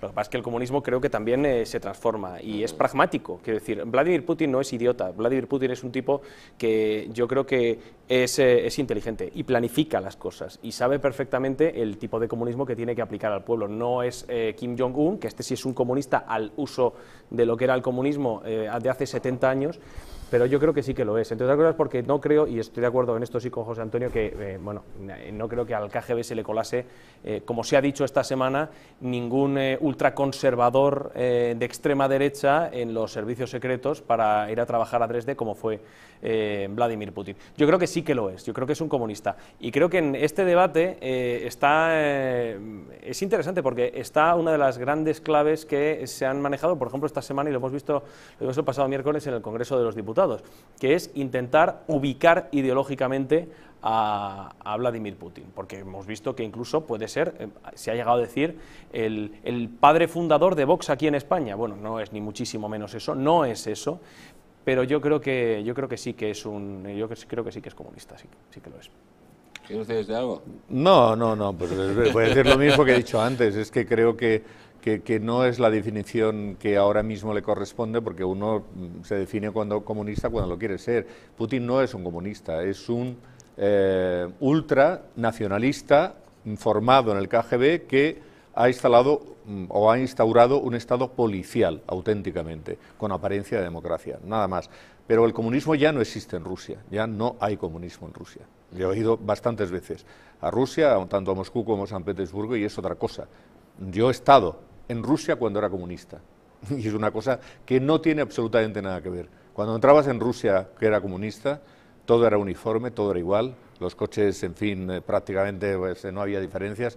Rusia ahora mismo es un país Famosos capi- Lada, ¿no? los Lada y otros parecidos. Rusia es un país capitalista en donde hay mucho dinero. Tú vas a Moscú y Moscú es muy parecido a cualquier eh, ciudad capitalista de cualquier parte del mundo. A Shanghai, que es también que es comunista, pero es el comunismo capitalista. Pero es igual que, pues no sé, Nueva York o que Bruselas, desde todo punto de vista. Restaurantes mm, de superlujo, tiendas de superlujo. Es decir, no es un país comunista como lo fue la Rusia comunista o la Unión Soviética comunista, en donde tú entrabas y aquello era un mundo diferente. Yo cuando entré la primera vez en la Alemania del Este, en Berlín Este, te llevas un shock, porque aquello es que la gente vestía casi todo el mundo igual, es que no había coches, es que no había luz prácticamente, es que no había tiendas, es que no había...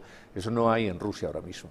Lo que pasa es que es verdad, pero eh, el centro de Moscú, igual que el centro de San Petersburgo, no es Rusia. No, Rusia es pues muy yo he amplia, estado en más sitios, he estado en Rusia es Kazán, muy por ejemplo. amplia, Rusia es muy grande, eh, y en Rusia, quiero decir, se, se ve y se percibe que no es igual que cuando tú vas a Shanghai, como tú dices, igual que a Pekín, como tú cuando vas a otras ciudades chinas, te das cuenta de que el centro de las ciudades no es lo que representa a todo el país, sino Eso que es evidente. es muchísimo más. No, eso es muchísimo más así, grande. tienes razón. Eh, o sea, Rusia, Moscú es una cosa y San Petersburgo es otra, y algunas otras grandes ciudades y todo lo demás está muy atrasado, eso es lógico, eso es verdad, porque en todas cosas es el país más grande del mundo. Tiene 11 usos horarios diferentes, en Estados Unidos hay tres, me parece, o cuatro, no sé. Eh, pues, pues, no, eh, entonces, eh, es que es un país inmenso. Tú vas a Siberia y hay pueblos que están absolutamente atrasados, en donde, cuidado, tampoco están atrasados, pero no son países los que se pasa el hambre que tú puedes pensar que se pasa en la India, ¿no? que es una cosa completamente diferente. Es decir, pues pueden vivir razonablemente bien de la agricultura y, bueno, pues van tirando, pero no son países ricos, no es un país rico en esas zonas. ¿no?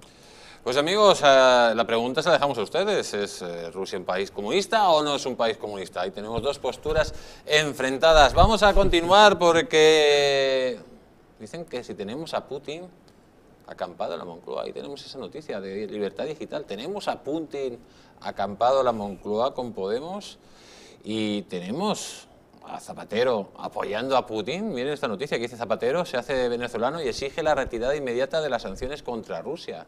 Ahí lo tenemos, el grupo de Puebla, concretamente. Pero la pregunta que nos hacemos todos es ¿por qué Podemos e Iglesias, amigos, están actuando de esta forma? ¿Qué sabe Putin de ellos para que actúen de esta forma? Miren la siguiente noticia que dice lo siguiente, dice que el entorno de Podemos sabía que Putin iba a invadir Ucrania por una reunión aplazada en la embajada. Atención, esto lo deja, lo deja muy claro. Y sobre todo otra noticia. Miren cómo funciona esto. Dicen que Rusia ofreció a Puigdemont 10.000 soldados y pagar la deuda catalana según el juez. Vamos a ir analizando todas estas noticias y luego nos metemos de, lleno en el parte de guerra de cómo está la situación en, Ucrania. Señor Polvorino, lo primero de todos, tenemos a Putin eh, metido en Moncloa y sobre todo cómo sabía Podemos que iba a iniciarse la, guerra. Bueno, vamos a ver, eh, si tenemos a Putin en la Moncloa, eso me parece, me parece un... y además es de, del, periódico de mi grupo. Eh, hay quien, hay quien lo puede afirmar, a mí me parece una exageración. Quiero decir, eh, que en la Moncloa hay aliados de Putin y hay gente que mm, no le baila el agua, pero que con su equidistancia beneficia a Vladimir Putin, no me cabe la más mínima duda. Y el ejemplo lo hemos visto esta semana en, en, el asunto de las armas. Cuando Podemos está instalado en un antibelicismo pues, más propio de mediados de los años 80 con el no a la OTAN, que en el pragmatismo que exige el pueblo ucraniano, que lo que reclama son armas. Ojo, me interesa también esto del material ofensivo porque es la forma de utilizar un eufemismo, vivimos en el imperio del eufemismo para no decir las cosas como son, no, son armas. Lo que quieren, lo que quieren los hombres y las mujeres ucranianas que se han quedado en las ciudades son armas y lo reclaman entre otras cosas pues porque no pueden hacer otra cosa que defenderse y esas armas salvan vidas, no lo digo yo, lo dicen ellos. Hemos hablado con ellos durante, durante esta semana. Eh, ¿Putin está en la Moncloa?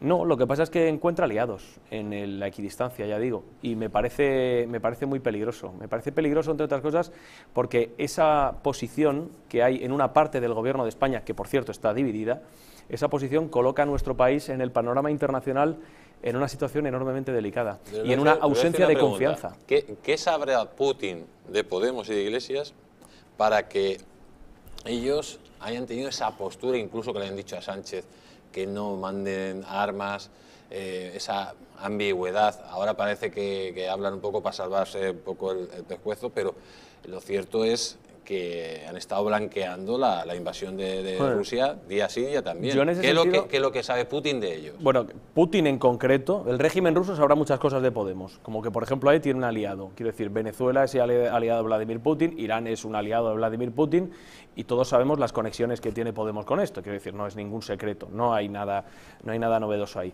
Lo que, lo que sí que es verdad es que yo creo que Vladimir Putin no, ni sabe quién es Pablo Iglesias ni sabe quién es Podemos. Quiero decir, no le hace falta. No le hace falta. Son eh, eh, bueno, pues una ayuda para Vladimir Putin, pero lo que a Vladimir Putin ahora mismo le preocupa son muchas otras cosas, antes que tener a un partido político en España que está menguando ya la baja, que pueda con su equidistancia llegar a ayudarle, que es lo que está sucediendo esta semana. Eh, bueno, y por último, ¿qué opinas que Putin ofreciera 10.000 soldados a Puigdemont, según un juez. Esto se había publicado ya antes, ¿eh? Y esto se había publicado ya antes. Y sobre todo comprarle la deuda pública catalana y lo hemos para, para, crear un conflicto directamente abierto con España. Sí, y además lo hemos comentado muchas noches de sábado aquí, cuando nos hemos visto, y esto quiero decir, no, sola, no, no, es, no, es una, no es algo que publiquen dos medios de comunicación con informaciones vagas o eh, bueno, neblinosas. Que, no, no, no. Esto es, esto es una realidad. Quiero decir, los jueces lo saben y todos sabemos que allí donde hay un conflicto, donde pueda eh, Putin socavar la credibilidad o la estabilidad de Occidente, allí está él. Y lo hemos visto en elecciones en Estados Unidos, lo hemos visto con el Brexit, lo hemos visto con el golpe en Cataluña y lo hemos visto muchísimas veces. De manera que esto no nos sorprende. El problema no es que, no es que Putin ofreciera eso, el problema es lo que desde España se le pedía a Vladimir Putin para intentar consolidar un golpe de Estado en, nuestro país, en Cataluña. Y eso a mí sí me parece muy grave, porque las conexiones que había entre Cataluña y Moscú están eh, más que acreditadas. Señor Vera, las injerencias de Putin en España por medio de los independentistas y de Podemos. Eh, la misma pregunta. ¿Tenemos en el patio trasero de Moncloa a una quinta columna del señor Putin? Hombre, la gente de Podemos, particularmente Pablo Iglesias, pues son rehenes de sus alianzas y evidentemente las alianzas de Pablo Iglesias las conocemos, ¿no? Eh, particularmente Venezuela, particularmente Cuba, eh, y otros países del foro de, mejor dicho, del Grupo de Puebla, que antiguamente era el foro de Sao Paulo. ¿no? Entonces, eh, claro, Putin, que tiene un interés evidente por mm, desestabilizar diferentes escenarios de Occidente, pues le interesa desestabilizar América Latina y Europa, si es posible. Pero bueno, todo esto que se ha dicho de Cataluña de Putin, pues yo creo que es verdad. Es decir, no te lo va a reconocer nunca. Tú le vas preguntar a él o a sus estructuras y te van a decir que es falso, ¿no? Pero es cuando, en fin, el río suena, agua lleva y sobre todo porque se eh, publicaron determinados documentos en los que particularmente el señor Puigdemont, que el otro día votó, digamos, tratando de bloquear una iniciativa contra Putin en el Parlamento Europeo, el señor Puigdemont es el que tenía eh, en particular mucho interés en que Rusia tratara de desestabilizar al gobierno español para favorecer la independencia de Cataluña. Y a Putin, como a Soros, por cierto, que también estuvo en eso, porque son grandes desestabilizadores mundiales, pues eh, al final sí que le viene bien. ¿Por qué? Putin en esta crisis que ha intentado que eh, la Unión Europea no tuviera una voz única. Ha intentado que los alemanes por un lado dijeran una cosa, los franceses, los españoles, no sé cuántos, tal.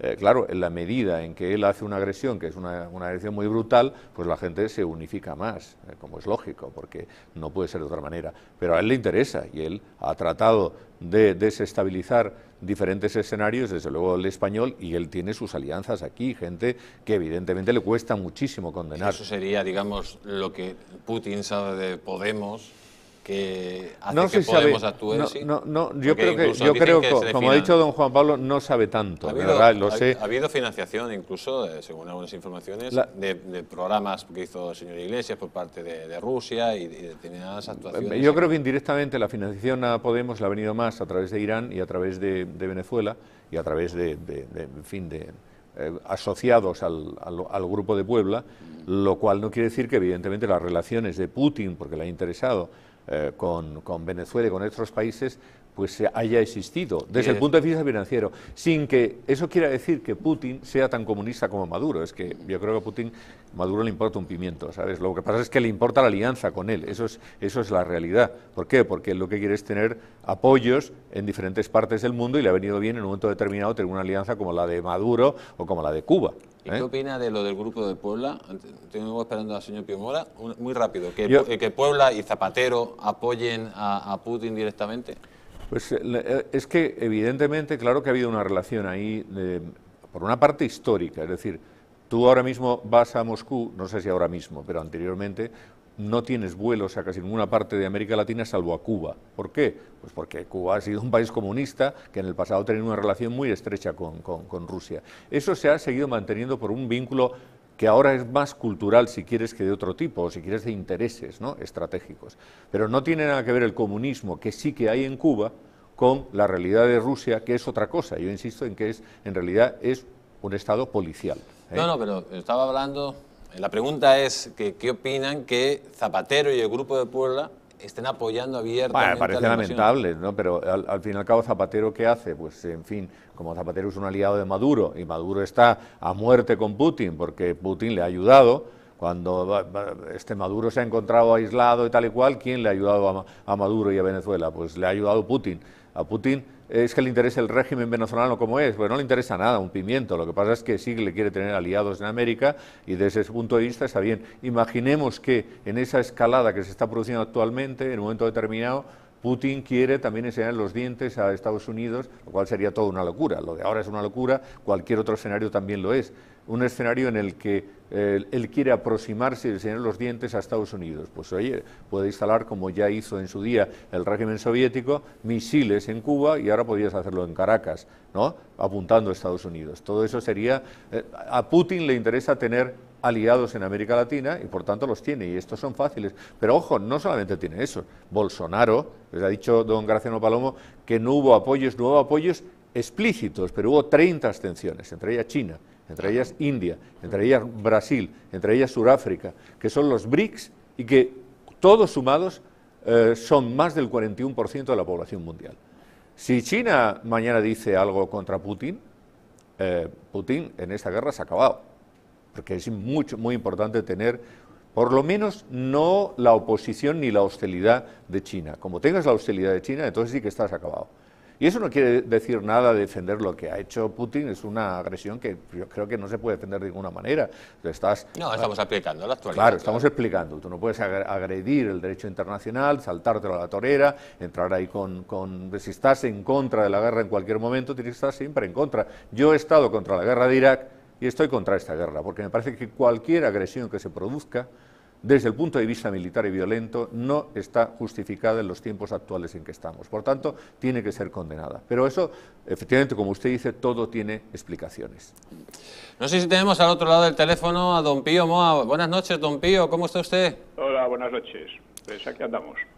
Don Pío Moa, le voy a pedir un análisis de lo que se está viviendo eh, a nivel nacional con con em, Podemos apoyando claramente a la intervención en, en, Ucrania y sobre todo a nivel internacional. Eh, ¿Quién es culpable, en eh, su opinión, de todo lo que está pasando? ¿Es Putin, es la OTAN, es la Unión Europea, son los ucranianos? Yo creo que eh, aquí en España haría falta un debate, un debate democrático sobre esto y sobre nuestra política y nuestra posición internacional, que es lo fundamental. Y veo además que en la autocrática Rusia pues aparecen muchas protestas contra Putin, incluso desde la cárcel de Navalny, mientras que aquí en España parece que decir algo a favor de Putin es algo así como un, sacrilegio. ¿no? Así que vamos a ver la cosa desde un punto de vista un poquillo, en primer lugar, tiene que haber, lógicamente, en una democracia tiene que haber varias voces y no solo una, pero aparte de eso, creo que hay que verlo desde el punto de vista, insisto, histórico. La OTAN no debe olvidarse, nació con el doble objetivo de contener a la Unión Soviética y de servir a los intereses useños, de USA, de Estados Unidos y de Inglaterra. Por lo que cuando la Unión Soviética se hundió, pues lo que se imponía directamente era ya los intereses useños. De hecho, nació una nueva OTAN que pretendía remodelar el mundo al estilo anglosajón, con los valores principales del dinero, la técnica, la libertad enarbolada también para crear indefinidamente más dinero y más técnica, en fin, es una manera de ver el mundo, ¿no? Y para imponerlo, eh, pues no solo se habían quedado sin la Unión Soviética, que era su rival ideológico, sino que disponían de medios económicos y militares gigantescos, que permitirían anular cualquier resistencia. Y hasta China parecía ir recorriendo el mismo camino. Y lo que ha pasado en estos 30 años es conocido y no hace falta insistir en ella tres costosos fracasos con cientos de miles de muertos y millones de, desplazados en Irak, Afganistán y Siria, y cuatro éxitos. Libia, que simplemente quedó destruida, Egipto mediante un golpe militar, Yugoslavia, que afirmó la disgregación de un país, Túnez, que ha desembocado en lo de siempre. Bueno, pues en esta sucesión le ha llegado el turno a Ucrania. En 2014, después de un golpe tipo primavera árabe que derrocó al gobierno prorruso de Kiev, Kissinger Kissinger y otros, Kennan y otros, eh, que conocían bien las contradicciones internas y los problemas históricos de Ucrania y de su relación con Rusia, pues advirtieron que la OTAN no debía extenderse a aquel país, sino que sería mucho mejor su neutralidad al estilo de Finlandia. Es de lo más interesante leer a Kissinger o a Kennan. Yo lo, lo recomiendo mucho porque fueron, fue profético. Dijeron que esa, la, que, es, vamos, que aquella política que estaba siguiendo la OTAN llevaba a la guerra. Sin embargo, la arrogancia de los dirigentes useños ingleses pues lo veía de otro modo. Pensaban que aquello era una ocasión para extender su influencia en contra de Rusia, hacia la cual no había disminuido su hostilidad desde el derrumbe de la Unión Soviética. Esto es importante, Solzhenitsyn tiene un trabajo sobre eso, cómo el que era anticomunista vio cómo después de la caída de la Unión Soviética la hostilidad seguía igual contra Rusia. Bueno, los intereses de USA contra Rusia datan de mucho tiempo atrás e incluyen incluso la posibilidad de fragmentarla y reducirla a una impotencia total. Y Ucrania, por su posición geopolítica, les ofrecía una excelente oportunidad, vistiéndola con grandes palabras de libertad y demás, ¿no? como se hizo en Irak y demás. Kissinger y otros advirtieron que aquella política conducía a la guerra, pero no sirvió de nada. La cuestión de Ucrania hay que verla como un episodio más de aquella fatal arrogancia cuyos resultados hemos comprobado en Irak, Afganistán, Libia, Siria, Egipto y volvemos a comprobar agravados en Ucrania. Y en lo que se refiere a España, que es lo que más nos interesa, debemos considerar dos aspectos. Primero, su posición en la OTAN, que es la posición de un país satélite o lacayo, invadido y amenazado por otro aliado de la OTAN. ¿eh? amenazado por Marruecos, invadido por Inglaterra y además con bases militares que ya no tienen razón de ser, porque la razón de ser era la Unión Soviética. Y en segundo lugar, debemos considerar la propia política del gobierno de Ucrania. Eh, en fin, sobre Ucrania vale la pena comparar la propaganda y la retórica de su gobierno con la de nuestros separatistas, en especial los catalanes. Desde hace ocho años, la propaganda del gobierno nacionalista de Ucrania se orienta a expulsar de la vida oficial y de la enseñanza el idioma ruso, que es el idioma de una gran parte de la población, y a crear un odio violento a Rusia como potencia bárbara, más o menos asiática, o sea, pese a que su cultura es una de las europeas más destacadas, y opresora de una Ucrania muy europea. ¿eh? Culpan a Rusia destacadamente del Holodomor, que fue la gran hambruna que mató a millones de personas en los años 30, olvidando que Ucrania y Rusia pertenecían al mismo Estado y no fueron responsables los rusos, sino los comunistas rusos y ucranianos, que estaban mandados por un georgiano, que era Stalin. ¿no? Uno de aquellos ucranianos, que era Khrushchev, que sucedió a Stalin a la cabeza de toda la Unión Soviética, se permitió regalar a Ucrania el territorio ruso de Crimea. O sea, argumentos como el del Holodomor, pues tienen una enorme fuerza emocional y crean un resentimiento sin fin, ¿no? Y si observamos la demagogia de los separatistas catalanes, vemos que incluso sin haber logrado la secesión, aunque les falta poco, ¿eh? gracias a los gobiernos cómplices del PP y del PSOE, a mí me hace gracia que se hable de que si Putin está metido con los separatistas. Los, quienes están metidos con los separatistas a fondo desde hace muchos años son los gobiernos del PP y del PSOE. Sin ellos, los separatistas no habrían avanzado tanto. Bueno, pues esos en Cataluña ya han expulsado el idioma español común de la vida oficial y lo han reducido a marginal en la enseñanza, pese a que es la lengua más hablada en Cataluña. Acosan a los hispanohablantes con violencia creciente y cultivan un victimismo atroz para justificar sus abusos. O sea, la idea clave es que Cataluña es europea, como Ucrania, mientras que el resto del país es otra cosa, más o menos africano y fascista. ¿eh? Buscan la cobertura de la Unión Europea porque eh, han tenido una labor diplomática y de propaganda pagada por, por los demás españoles y que ha conquistado grandes simpatías en la Unión Europea, donde se burlan habitualmente de las decisiones legales españolas, como hemos visto varias veces. Y seguramente, de lograr la secesión, pues utilizarían la reivindicación española de Gibraltar para plantear a la OTAN que España no es un aliado fiable, cosa que ellos sí serían. Y el Holodomor serían aquí los horrores del nazismo franquista. ¿eh? Y hoy surgen en España una multitud de gente que son antipatriotas, que están, que, están en contra de España, pero de repente compiten en favor patriótico a favor de Ucrania, ¿no? Todo esto debería decirnos algo, ¿no? O sea, con un poco de suerte yo creo que en Ucrania terminará imponiéndose la razón. Rusia renuncia a la desnazificación y Ucrania renuncia a la OTAN. A partir de ahí todo entraría en vías más aceptables. No hay garantía de que la, la razón vaya a, ganar la partida, pero en fin, es la mejor esperanza y es por lo que hay que apostar, en mi opinión. Don Pío Moa, muchísimas gracias por estar aquí en el Mundo al Rojo. Un fuerte abrazo y cuídese usted mucho. Un fuerte abrazo a todos. Hasta luego. Señor Polvorinos, ¿qué opina usted? Sí que quería decir una cosa antes con respecto a lo del grupo de Puebla, que me parece, eh, me, parece, me parece vergonzoso que José Luis Rodríguez Zapatero eh, esté metido ahí, pero también lo está Adriana Lastra, que es la número dos del Partido Socialista Obrero Español. Eh, Entonces sí, que tenemos al comunismo eh, de, Putin en, el, jardín trasero de la Moncloa. Lo que pasa es que, eh, si es que, si es que, vamos a ver, el problema, el problema es, mira, esta no, semana... No quiero despistar. No, no, no, no, me voy a centrar. Me voy a centrar.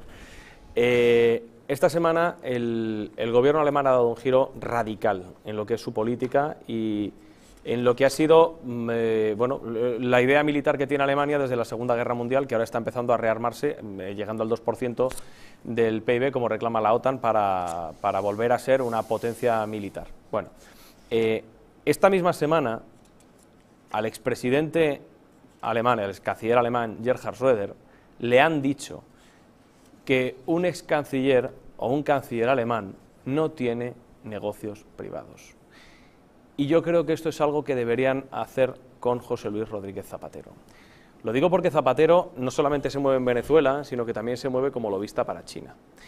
Y si realmente se quiere luchar contra Rusia, desde un punto de vista que sea mm, relativamente justo, si realmente se quiere luchar contra esto, si realmente Europa, o lo que es Occidente quiere imponerse desde el punto de vista ideológico, no solamente hay que romper con Rusia, Hay que romper con Rusia y con todos sus aliados. Y eso pasa por decirle a Zapatero que los negocios, que los negocios, mm, bueno, decirle a Zapatero que todo lo que está haciendo en Venezuela no tiene un pase y lo que está haciendo con China tampoco. Y no basta únicamente con decir, bueno, es que hemos echado a Rusia del Mundial de Fútbol, por ejemplo. Pero es que el Mundial de Fútbol se disputa en Qatar.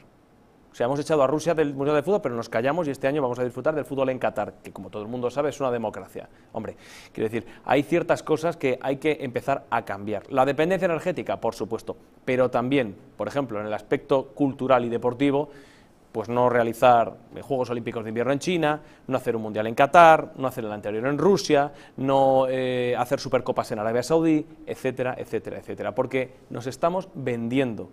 Y este tipo de cosas afectan a la cultura occidental, porque contribuye a blanquear a todos estos lugares, a todas estas atrapías, que son todo lo contrario al mundo de libertades que nos hemos dado en Occidente. Y si se lucha, se lucha desde todos los frentes, desde todos, diciéndole a todo el mundo, y señalando a todo el mundo y reclamándole a todo el mundo que sea transparente. Y Zapatero eso no lo hace.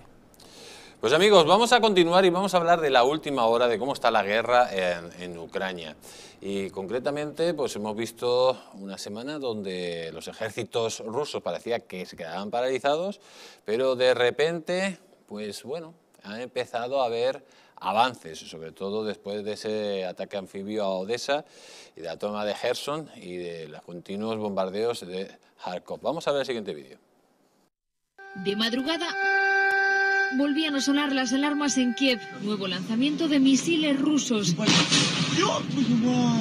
Uno impacta muy cerca de la estación central de tren y pilla en directo a un reportero. A sus espaldas se ve un flash de luz y de repente una explosión frente al balcón desde el que está informando. Corre a ponerse a resguardo. Todos estos estudiantes en Kharkov se resguardan en una estación de tren abarrotada. Rusia centra buena parte de sus esfuerzos en la segunda urbe más grande de Ucrania. Ya ha destruido tres colegios y una importante catedral. Las zonas residenciales tampoco escapan de las bombas. Durante la noche han matado a seis civiles, dos de ellos niños, en otra ciudad de la región. Los combates están siendo especialmente intensos en dos ciudades de la costa, Gerson y Mariupol. Parece claro que Rusia quiere hacerse con la franja costera para impedir a Ucrania una salida al mar. Ya tiene en sus manos Gerson. Ha forzado su entrada en el ayuntamiento de la ciudad y mantiene Mariupol aislada. Pues amigos, esta es la situación y a continuación vamos a ponerle un mapa de cómo está ahora mismo el, escenario de guerra. Ustedes eh, están viendo el desembarco que ha habido, la operación anfibia contra Odessa. ¿Por qué es tan importante Odessa? Pues que, amigos, Odessa ha sido el puerto comercial más importante de la antigua Unión Soviética y domina el comercio en el Mar Negro a través del canal de Bósforo hacia el Mediterráneo. Y además, eh, de esa forma, si Putin conquista Odessa, podría mirar de tú a tú a la OTAN. Y sobre todo, muy importante, ayudaría al desarrollo de Crimea. Luego tenemos la toma de Kharkov, que ya, de Gerson, perdón, que ya lo ha tomado, y el ataque a Mariupol. ¿Cuál es la clave? ¿Qué es lo que quiere hacer Putin? hacer un corredor con las provincias rebeldes y prácticamente dejar a Ucrania sin el litoral costero. Eso es un poco lo que se empieza a interpretar de los diferentes ataques que está teniendo, aparte, lógicamente, de tener la ciudad eh, de Kiev y porque posteriormente lo que quiere es coger parte de, Ucrania, no se va a quedar con toda y poner un gobierno títere para bueno, pues cumplir sus deseos. Hemos visto, hemos visto también pues lo que decíamos, ¿no? que tras la toma de Hercon, un convoy de buques se dirigía a Odessa, esa noticia que ya lo hemos visto, y sobre todo, amigos, lo que estamos viendo es un presidente de Ucrania que se ha levantado, se ha levantado como una figura, un tipo que era un cómico, un cómico que hacía pues, diferentes eh, programas, ha salido en Netflix, y de repente pues se ha levantado como casi un héroe contra los ejércitos rusos. Parecía que iba a abandonar rápidamente Kiev, pero lo tenemos a pie del cañón y ha sido capaz de alimentar el espíritu de resistencia de Ucrania. Vamos a ver un vídeo a continuación de, de este señor. Всім добрий вечір. Лідер фракції тут, голова Офісу президента тут, прем'єр-міністр Шмигаль тут, Подоляк тут, президент тут. Всі ми тут, наші військові тут, громадяни суспільства тут, всі ми тут. Захищаємо нашу незалежність, нашу державу. І так буде й далі. Слава нашим захисникам, слава нашим захисницям. Слава Україні! Pues ahí tenemos eh, Zelensky, que parecía que iba a abandonar, que iba a salir corriendo, lo decíamos la semana pasada, que parecía que estaba desaparecido, pero, amigos, está dando ahí el callo y se está convirtiendo en el símbolo de la resistencia. ¿Cómo veis? Vamos a hacer un análisis muy rápido de la situación ahora mismo de los movimientos de guerra y sobre todo la, la figura de Zelensky, eh, lo que está representando en esta resistencia. Bueno, eh, yo creo que Zelensky, Volodymyr Zelensky, está mostrando mucho más arrojo, mucho más dignidad, valentía y determinación que algunos de los líderes occidentales que esta semana, solamente esta semana, y ha habido un cambio significativo, encomiable desde luego, pero yo creo que eh, Zelensky ha animado a muchos a abrirle los ojos y a que lleguen a la conclusión de que no pueden dejar solo al pueblo ucraniano. Eh, vamos a ver, que se meta la OTAN en Ucrania es un problema, esto lo sabemos absolutamente todos, porque Vladimir Putin eh, es un hombre que tiene el botón rojo al lado y que además negocia con una pistola del cinto. Es un, es un sicario, quiero decir, se, ha criado en eso, funciona así. Y, Zelensky es una, es una persona que ahora mismo tiene, goza del enorme prestigio internacional. Ojo, un cómico, un payaso dirán algunos, con todo lo noble que es la profesión de payaso, porque payasos en política hay muchísimos, pero no todos muestran la dignidad y la determinación que, se lo digan a la, alcaldesa de Barcelona. Por ejemplo. Pero en todo caso, eh, yo creo que esta guerra se le va a hacer muy larga a Rusia. Una vez que yo no tengo, espero que no, pero creo que al final Putin va a conseguir eh, asentarse con todos sus ejércitos en el territorio, le va a costar muchísimo. Pero lo que se expone Vladimir Putin es a un periodo larguísimo de una guerra no silenciosa, pero sí más soterrada, de una guerra de guerrillas, de algo parecido a lo de Afganistán, que le va a costar muchísimo tiempo si es que lo consigue dominar y que va a dejar a, a Rusia creo en una situación de, merma de sus tropas y con un territorio enorme. Ojo, Ucrania es una extensión tan grande como España y Portugal juntas, eso no se controla fácilmente. Y la, una población de 44 millones de personas, eso no se controla en dos días. Eso es muy difícil de controlar. Y de someter a una población entera de ese volumen en un territorio tan extenso y tan grande. Entonces yo creo que Putin eh, dará golpes muy duros porque los va a asestar, no tengo ninguna duda, él tiene la determinación de entrar, pero no le va a salir gratis ni muchísimo menos. Muy rápido. Sí, bueno, lo va a hacer así porque en todos los conflictos en los que él se ha metido previamente, ya van muchos, ¿no? Chechenia, pues em, eh, Osetia, eh, Siria, mm, Crimea, en, todos, en Crimea no, porque lo de Crimea casi fue un paseo, ¿no? Pero, por ejemplo, en Chechenia, ¿qué es lo que hizo? Arrasó absolutamente el país. Bueno, Grozny la dejó. La, dejó absolutamente triturada, porque, mm, en fin, el personaje es así. Entonces, a mí no me cabe la menor duda de que si tiene que llegar a esa situación lo va a hacer. Eh, si encuentra una resistencia dura, como encontró, por ejemplo, en Chechenia, que era muy dura, eh, hará lo que tenga que hacer, porque su determinación es, en fin, como también hizo en Siria. ¿eh? Ahora, yo creo que él no va a ocupar, mm, creo que sería un poco suicida intentar ocupar el territorio entero. Lo que va a hacer es descabezar Kiev para poner a un, presidente títere. Y quedarse, de alguna manera, no quedarse directamente, pero sí como en el caso de Osetia, con repúblicas que sean, digamos, eh, afines, ¿no? en la parte del este del Níter, que es donde hablan ruso. Eh, y efectivamente controlando, como usted ha dicho bien, el sur, que es Odessa, que es fundamental, porque eso te hace que puedas tener todo lo que es el mar norte, ya tienen el, mar del norte, ya tienen el, mar de Azov, lo tienen controlado, y esa va a ser un poco la estrategia suya, no más de eso. Eh, y con relación a Zelensky, pues sí, efectivamente, claro que sí, uno tiene que luchar por su país, y a mí me parece que eso pues está bien y es digno de destacar. Curiosamente, sí que noto una cosa que creo que, en fin, que a veces hay que pensar sobre ellos. Cuando los que luchaban por, por defender a su país, que era Irak, de la invasión de Estados Unidos eran terroristas, ahora resulta que son héroes. Entonces estas cosas siempre son un poco, ¿sabes?, dan que pensar. Zelensky, ¿qué es en realidad?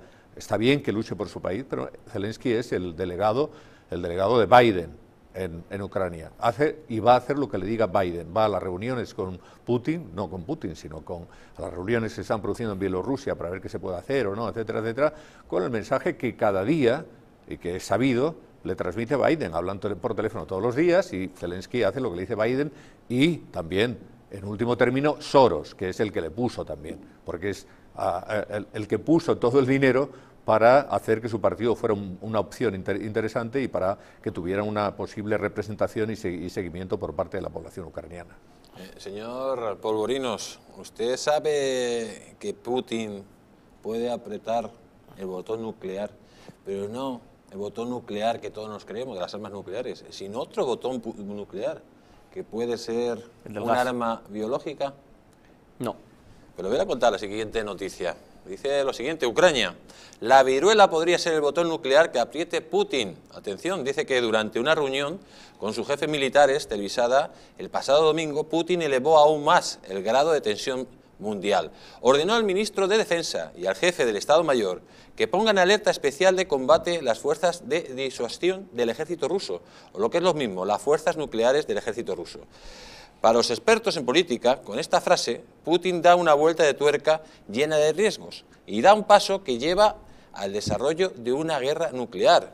Y además lo lleva a un terreno donde no habría ningún ganador.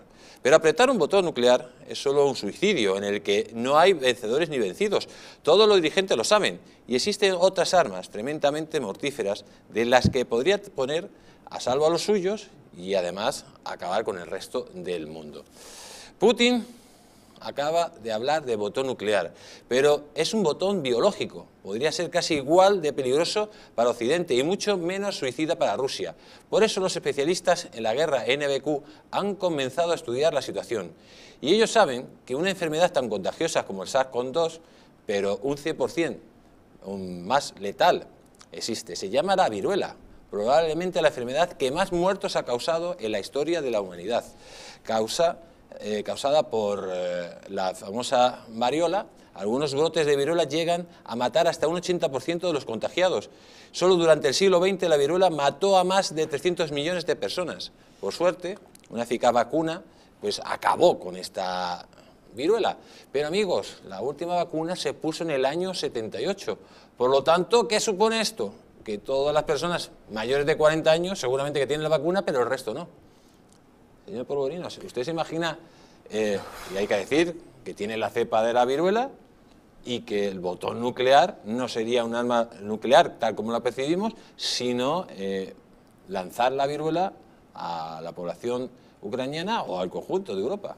Bueno, lo de utilizar armas biológicas lo hemos visto en muchos otros atrapas y dictadores y yo de Putin no me atrevo a descartar absolutamente nada. Solamente espero, deseo y confío en que evidentemente ni, ni haya botón nuclear ni haya botón de armamento biológico porque eso evidentemente eh, pues nos aboca a un auténtico desastre. Desastre ya hay, me dirán algunos, y yo estaré de acuerdo con ellos, por supuesto, tendrán toda la razón. Lo que pasa es que en una escalada, en un conflicto nuclear, o en un conflicto de este tipo, nuclear no, evidentemente, pero en una escalada, en un conflicto, uno nunca sabe cómo puede terminar la cosa. Las guerras se sabe cómo empiezan y no se sabe ni cuándo ni cómo terminan, así que espero que no terminemos así, evidentemente. Eh, señor Vera, estamos hablando que es fácil de cultivar la viruela, que es enormemente contagiosa, es súper mortal y eh, pues es gravemente, se puede contagiar a la gente muy fácilmente. Además, mm, las personas que tienen más de 40, menos de 40 años no tienen vacuna. ¿Sería esto una forma, si a Putin la guerra se le pone muy complicada, si las sanciones internacionales pues provocan un descalabro en su economía, su ejército, como dicen algunas informaciones, eh, que, bueno, hay que ponerse entre comillas, que parece un ejército chichinabo, que no lo creo, pues verdaderamente es incapaz de, de aguantar con la resistencia, ¿sería capaz de lanzar este tipo de arma biológica? Vamos a ver, un Putin que esté arrinconado es capaz de cualquier cosa, eh, efectivamente. Ojalá eso no se produzca nunca, porque si le coges una situación complicada, teniendo en cuenta que tiene efectivamente las armas nucleares y tendrá armas biológicas como tienen todas las grandes potencias. En teoría las armas biológicas están prohibidas, pero mm, bien sabemos que todo el mundo ha hecho avances en armas biológicas y que todo el mundo tiene laboratorios de armas biológicas, que nadie va a reconocer.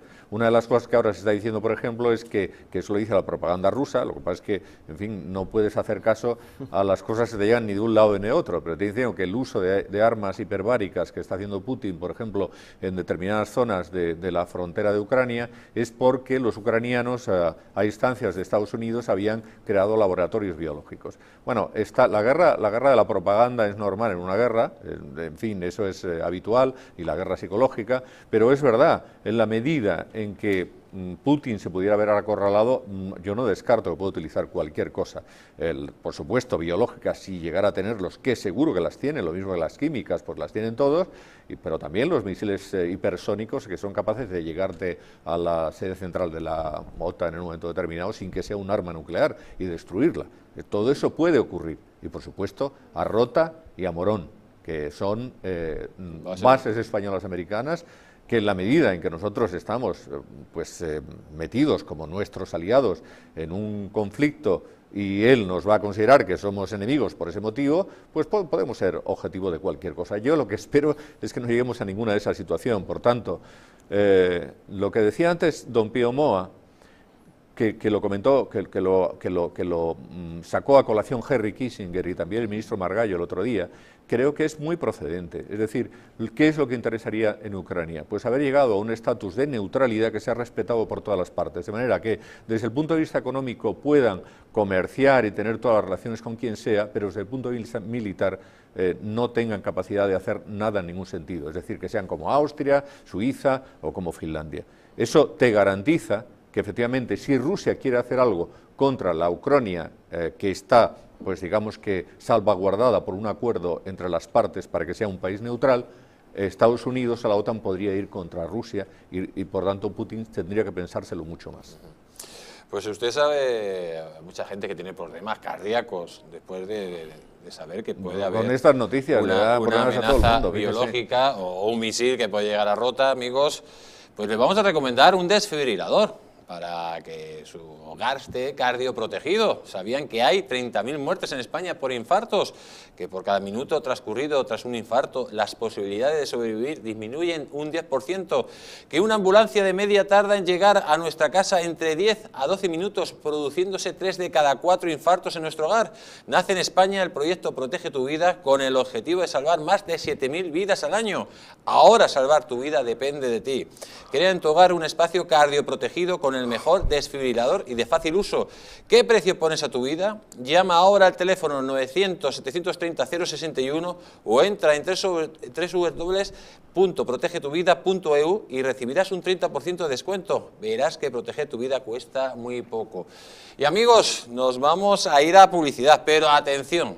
Atención a esta noticia. Biden compartió información confidencial de Ucrania con China y el régimen comunista se la filtró a Rusia. Lo vamos a ver después de publicidad, pero yo le quiero hacer una pregunta al señor Polvorinos. Uh -huh. Señor Polvorinos, ¿sabe usted que va a venir Kilian aquí al programa del Mundo Rojo? Pero no el del Paris Saint Germain. Bueno, pero uno todavía mejor. Ah, bueno, eso seguro. Estamos hablando de un empresario ¿eh? Eh, reconocido y además un gran piloto de Dakar, del Dakar Classic. Qué bueno. ¿Eh? Pues nada, oye, hay que seguir viendo el programa en todo caso. Por supuesto. que sí. Nos despedimos de usted. Muy bien. Pero amigos, no se vayan porque viene Kilian Revuelta también para hablarnos aquí, en el Mundo al Rojo, en exclusiva. En un minuto volvemos. El secretario general del PSOE, Pedro Sánchez, asegura que sobra el Ministerio de Defensa. Así lo ha asegurado en una entrevista publicada hoy por el periódico El Mundo. Sánchez afirma que se debería dedicar más presupuesto a luchar contra la pobreza y la violencia de género. La secretaria general del PP, María Dolores de Cospedal, ha contestado al líder socialista asegurando que lo que dice es una barbaridad.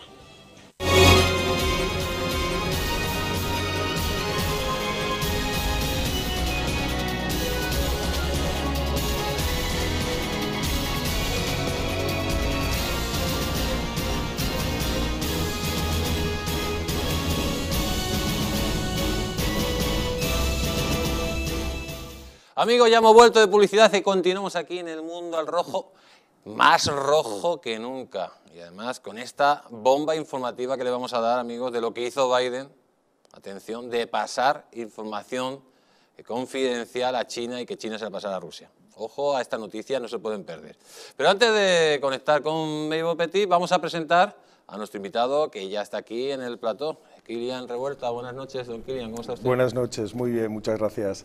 Dispuesto a estar aquí en el Mundo Rojo y a contarnos sus aventuras en esos eh, rallies. Claro que sí, esto es una aventura muy light comparado con la actualidad que tenemos. Eh, ¿Cómo ve usted la actualidad? Complicado, es muy complicada la situación. Salimos de una situación tremendamente complicada con todo lo de la pandemia y si, si se podía mejorar un poco, pues nos metemos en el Mm. tema de, de la guerra. Así que bueno, vamos O sea, a ver. Muy malo para las empresas, para los trabajadores, ¿no? Sí, muy malo para, para todo. Parecía que íbamos a poder tener, a lo mejor, España, que vivimos mucho del turismo, íbamos a tener un verano al menos más normal que los dos últimos. Y bueno, y resulta que ahora se, se vuelve a complicar todo. Así que, nada, una montaña rusa. Una montaña rusa, amigos, que no sabemos cuándo va a acabar. Parece que hay una mano negra que está manejando todo, porque después de la pandemia, ahora la guerra, ni aposta. Vamos a empezar presentando también al otro lado del Atlántico, en Nueva York, está nuestra querida Mabel Petit. ¿Cómo estás, Mabel? Digo que estás en Nueva York, pues, porque cada día te pillo en, cada, en un lado del mundo. No, en estos momentos estamos en Nueva York de regreso y trabajando muchísimo ante todos estos eventos que se han generado por el conflicto bélico en Ucrania.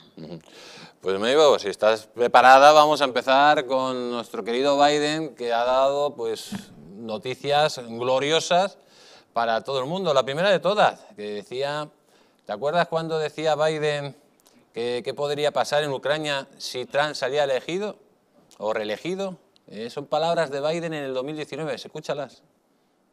It's going to take a hell of a lot of work to make up for all the damage he's done internationally and nationally. His network of thugs and co-conspirators are going to continue to try to undermine our democracy in the meantime. Imagine what he can do in another year. Imagine what can happen in Ukraine. Make no mistake, this is a full-scale Russian invasion into Ukraine happening right now, and the air raid sirens going off in the Ukrainian capital as we speak. Bueno, la verdad que nos podemos imaginar lo que hubiera pasado si Trump se fuera presidente del gobierno, pero ya sabemos lo que ha pasado siendo Biden presidente del gobierno de los Estados Unidos. Un Biden, amigos, que miren lo que dice esta noticia. Biden compartió información confidencial de Ucrania con China y el régimen comunista se la filtró a Rusia. Fíjense ustedes el desastre de gestión de ese señor.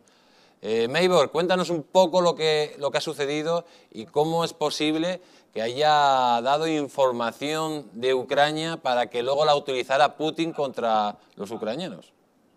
Sí, esa información que fue publicada en uno de los periódicos que prácticamente ha estado aliado al gobierno de Joe Biden, es el New York Times, informa que justamente el, miembros del gobierno de Biden entregaron información privilegiada a representantes del gobierno de Beijing y a su vez estos la habrían entregado a un socio estratégico que tiene China. Y esto es importante destacarlo. Quien es una amenaza permanente para la seguridad de los Estados Unidos es China. Y China está aliada a Moscú independientemente de que existan algunas diferencias.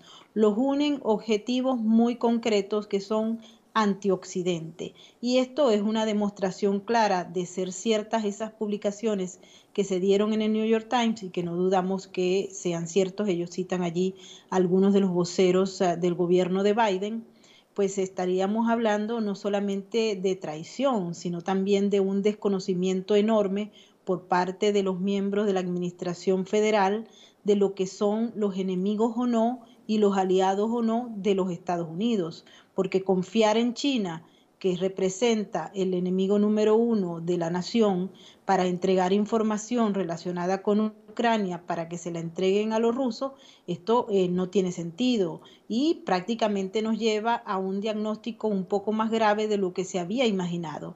Y es que las personas que están al tanto y al frente de cada uno de los cargos no tiene el conocimiento para estar allí. Se ha criticado mucho la capacidad de los uh, empleados del gobierno federal en estos momentos en los puestos principales. Pero si esto es así, lleva un poco más allá. eh, se podrían estar confirmando incluso acusaciones que se han hecho en el pasado, según las cuales el Partido Comunista Chino participa en acciones para escoger a miembros de la política de los Estados Unidos. Esto se ha denunciado en múltiples oportunidades, se ha pedido que se investigue en muchas ocasiones a las agencias federales, pero los resultados han sido nulos. Esto realmente ha levantado las alarmas, porque si China es un actor de confianza para los Estados Unidos para entregarle información sobre un aliado que se supone se está en estos momentos defendiendo como es Ucrania, pues estamos muy mal en los Estados Unidos. Te quería comentar también en relación a esas declaraciones que dio Joe Biden en el año 2019 y que comparaban a Trump con cualquier cosa mala que podría eh, ocurrir en el planeta.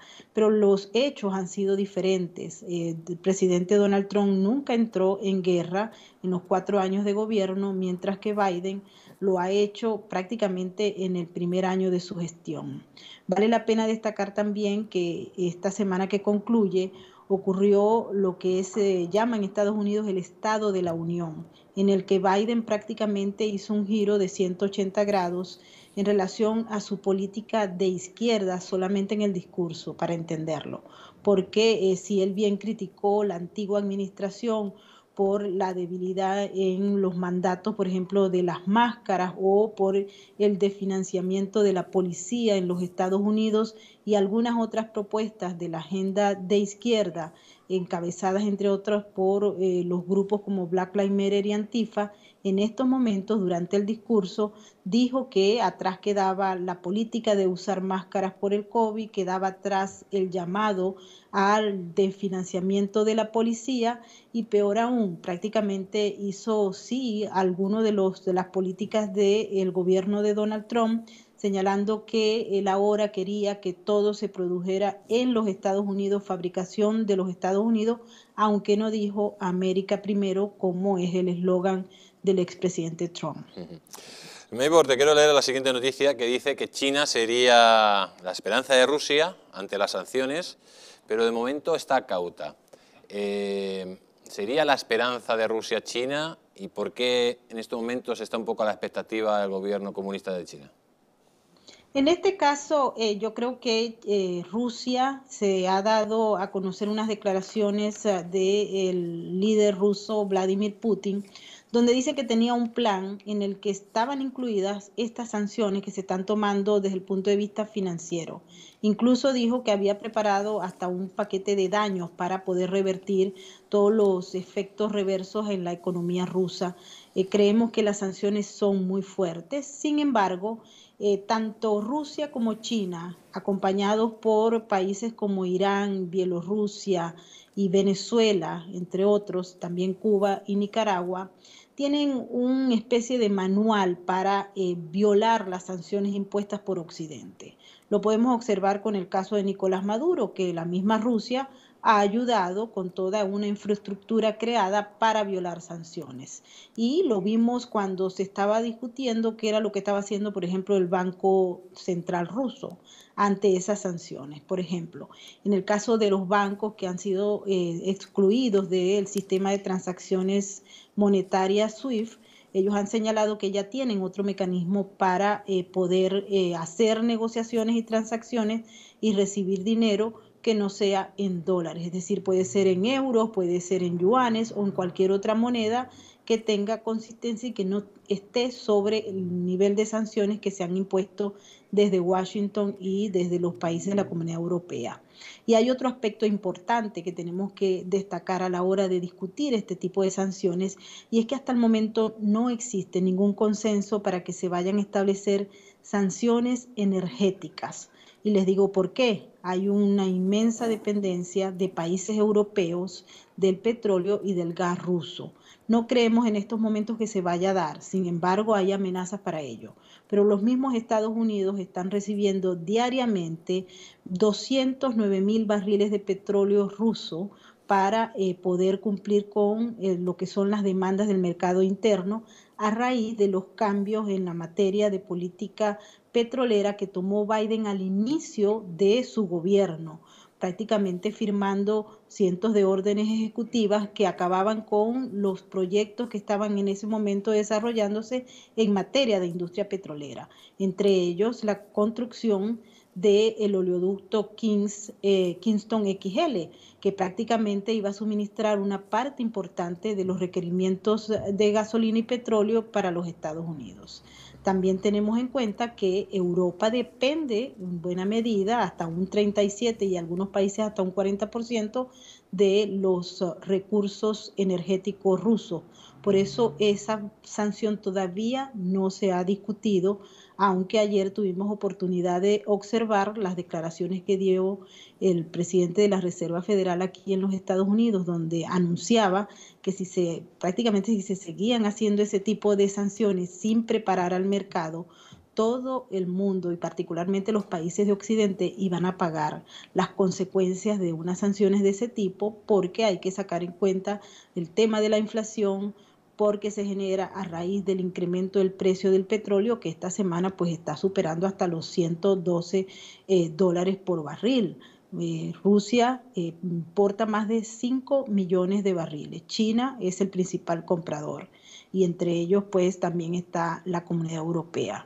Si hay sanciones en el mundo energético, hay sanciones para todos esos países y creo que en este caso los intereses de los gobiernos y los intereses económicos se van a sobreponer a cualquier intención que tenga Occidente de sancionar la empresa petrolera rusa. Las financieras, ellos están prácticamente en capacidad de poderlas violar como lo han hecho a lo largo de 25 años los rusos, pero también a lo largo de 40 años, eh, por ejemplo, Corea del Norte o Irán, que ha sabido crear una infraestructura ilícita de, de prácticamente una economía criminal para poder violar las sanciones de manera directa o indirecta e inclusive hasta en la misma estructura que Occidente plantea para aplicarlas. Y ya para terminar, Maybor, quiero leerte dos noticias. Eh, dice mm, que Trump culpa a Biden del conflicto y lo califica de incompetente, esa noticia. Y luego otra que dice que el enfoque del espectador en jefe de Biden hacia Ucrania puede animar a China a atacar Taiwán abierto un experto.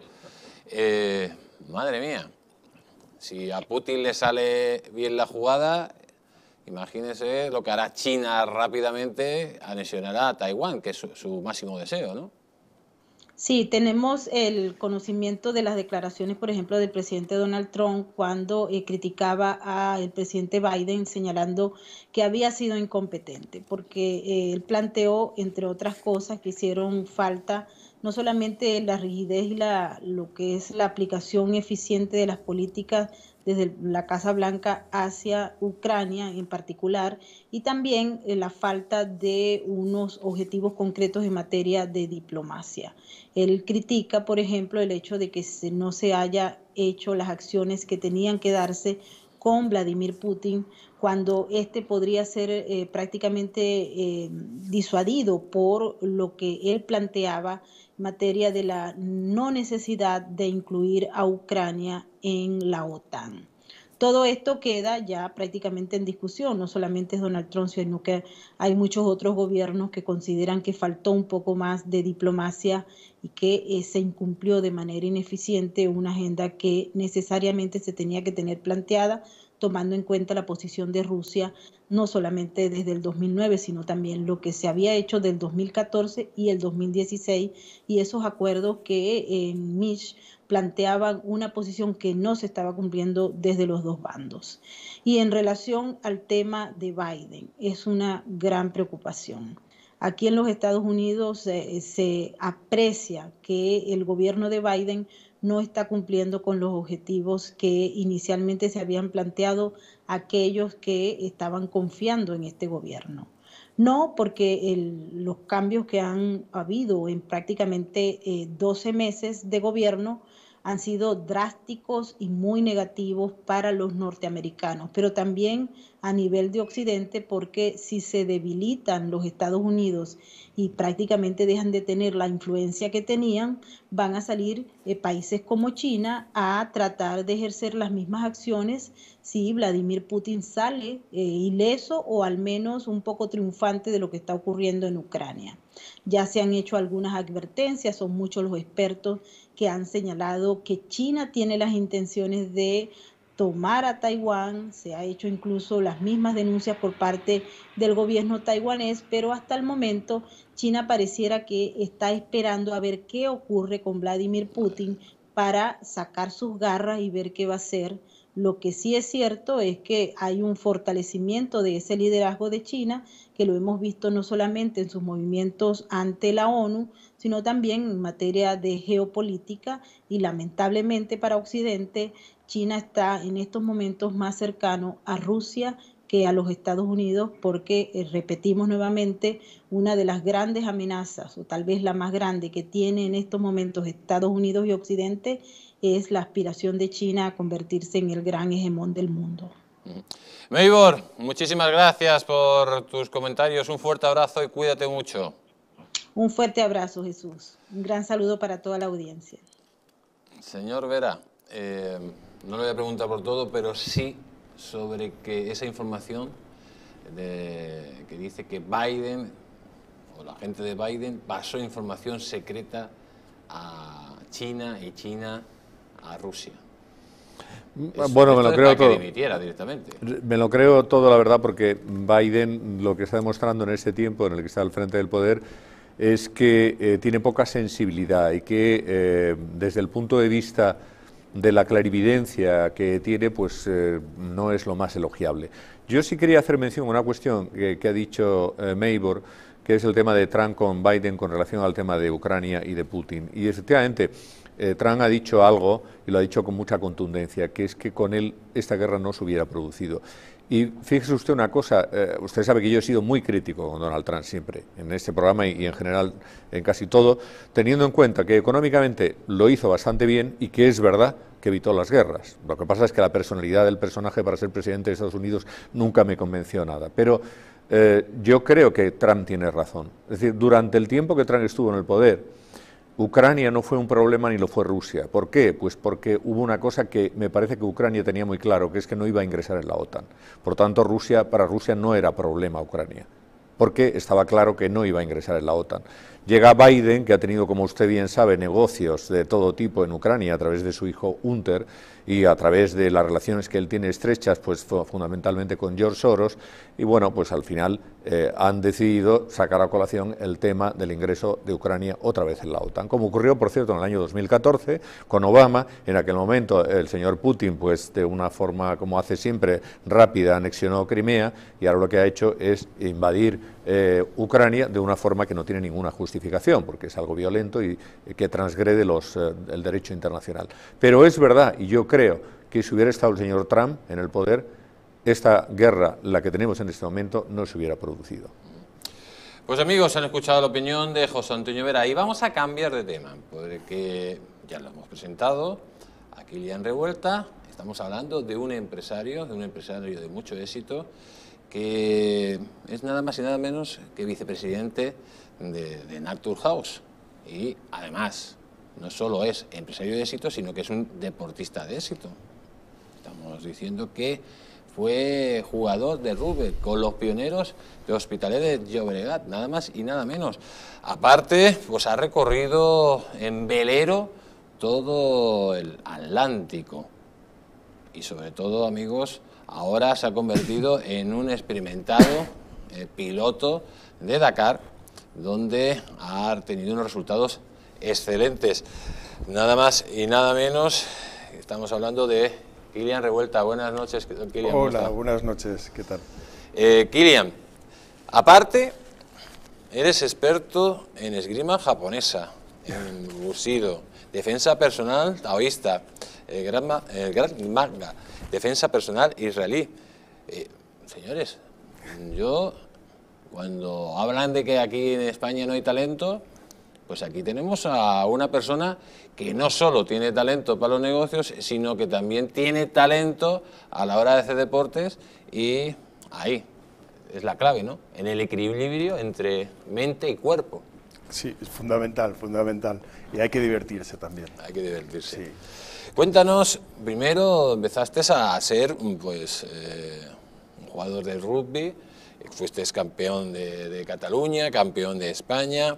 Eh, el rugby, que es. Estamos hablando de fútbol americano, no rugby. Fútbol americano, sí. El fútbol americano que aquí no tiene mucha presencia, pero que vosotros le habéis dado bastante cobertura y ha hecho que cada vez haya más personas que practiquen este deporte, ¿no? Sí, bueno, es, es un deporte que, que es, es- llama mucho la atención porque realmente cuando no, no entiendes muy bien el deporte, eh, lo que ves es un batiburrillo de jugadores y ves que dices, bueno, y al final todo lo que se ve en el campo eh, se plasma en una pizarra, con lo cual es un, es un deporte que, inventaron en Estados Unidos eh, militares, entonces es realmente muy de estrategia. Bueno, yo jugué cuando era algo jovencito, que tenía, tenía más energía que ahora. Pero bueno, eh, la verdad que es- fue una experiencia y lo recuerdo con mucho cariño. Porque estamos hablando que practicas rugby, pero luego también una gran variedad de artes marciales. ¿Eso de, te viene de pequeño, te lo inculcó tus padres o No. te salió de forma natural? De forma natural, quizás que me sobraba un poco de energía. Todo el mundo se pregunta, ¿cómo es posible que recorras en velero eh, desde Europa hasta, hasta América, practiques rugby, eh, hagas artes marciales, hayas recorrido el, Dakar y además eh, gestiones una empresa tan importante ¿no? como es eh, Naturhaus, el grupo Naturhaus? Bueno, y si realmente no, no puedes sacar tiempo para, o sea, que realmente lo que es los negocios te, te, te confiscan todo tu tiempo, realmente es que algo estás haciendo mal. O sea, por supuesto que... Voy a, voy a tomar nota porque yo hago... Bueno, esto es lo, lo que decía, que llegó una nueva filosofía que, que no era trabajar muchas horas, sino rendir mucho. ¿no? Y, realmente, al final, creo que era Lee Iacocca que, que lo, era un tema que juzgaba bastante este tema en sus directivos, ¿no? Y era que un, un empleado que no pudiese tener cierto tiempo para conciliar su vida familiar, una vida de aficiones, pues a lo mejor no era, no era el óptimo, ¿no? Eh, bueno, eh, realmente hay que trabajar cuando hay que trabajar. Y si realmente tienes que trabajar 24 horas, pues a lo mejor algo no... Te has equivocado, quizá. Me he ¿no? equivocado. Pero, pero bueno, no, esto no quita que haya ciertos momentos y luego, eh, claro, la, la vida de un empresario no es el tiempo que pasas realmente físicamente trabajando. O sea que la clave es el tiempo que sea productivo. Sí, y que luego nunca desconectas en el fondo. Sí que es cierto que hay muchas actividades que te dejan eh, evadirte un poco, pero realmente siempre estás pendiente y desde la salida de los móviles, pues más. O sea, realmente estamos totalmente encadenados, ¿no? Pero bueno. eh, Aparte, también eres eh, consejero de- del español, del digital español, del Pedro J, vicepresidente de, del Logroñés. Por cierto, el Logroñés, un equipo que parecía que iba a desaparecer y al final lo recaptaste, ¿no?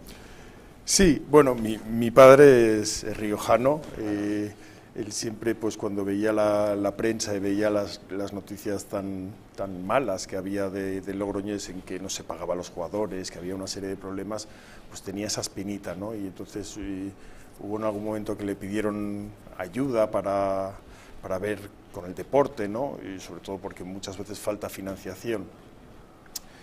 Y bueno, como, como es un hombre atrevido, pues, pues ahí que se metió de lleno en, en el mundo del fútbol, que no hay nada más complicado, yo creo. Y, nada, ya llevamos eh, cerca de 13 años, 12 temporadas, y, bueno, creo que se están dando los pasos adecuados para tener un club eh, saneado.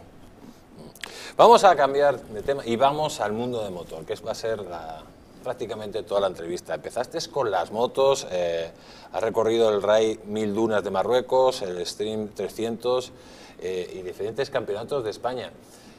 Esta afición por las motos, además, eh, motos que en cierto modo uno se está jugando la vida, porque tienes que ir a una velocidad en unos circuitos que están preparados, bueno, para hacer, eh, que no están preparados incluso.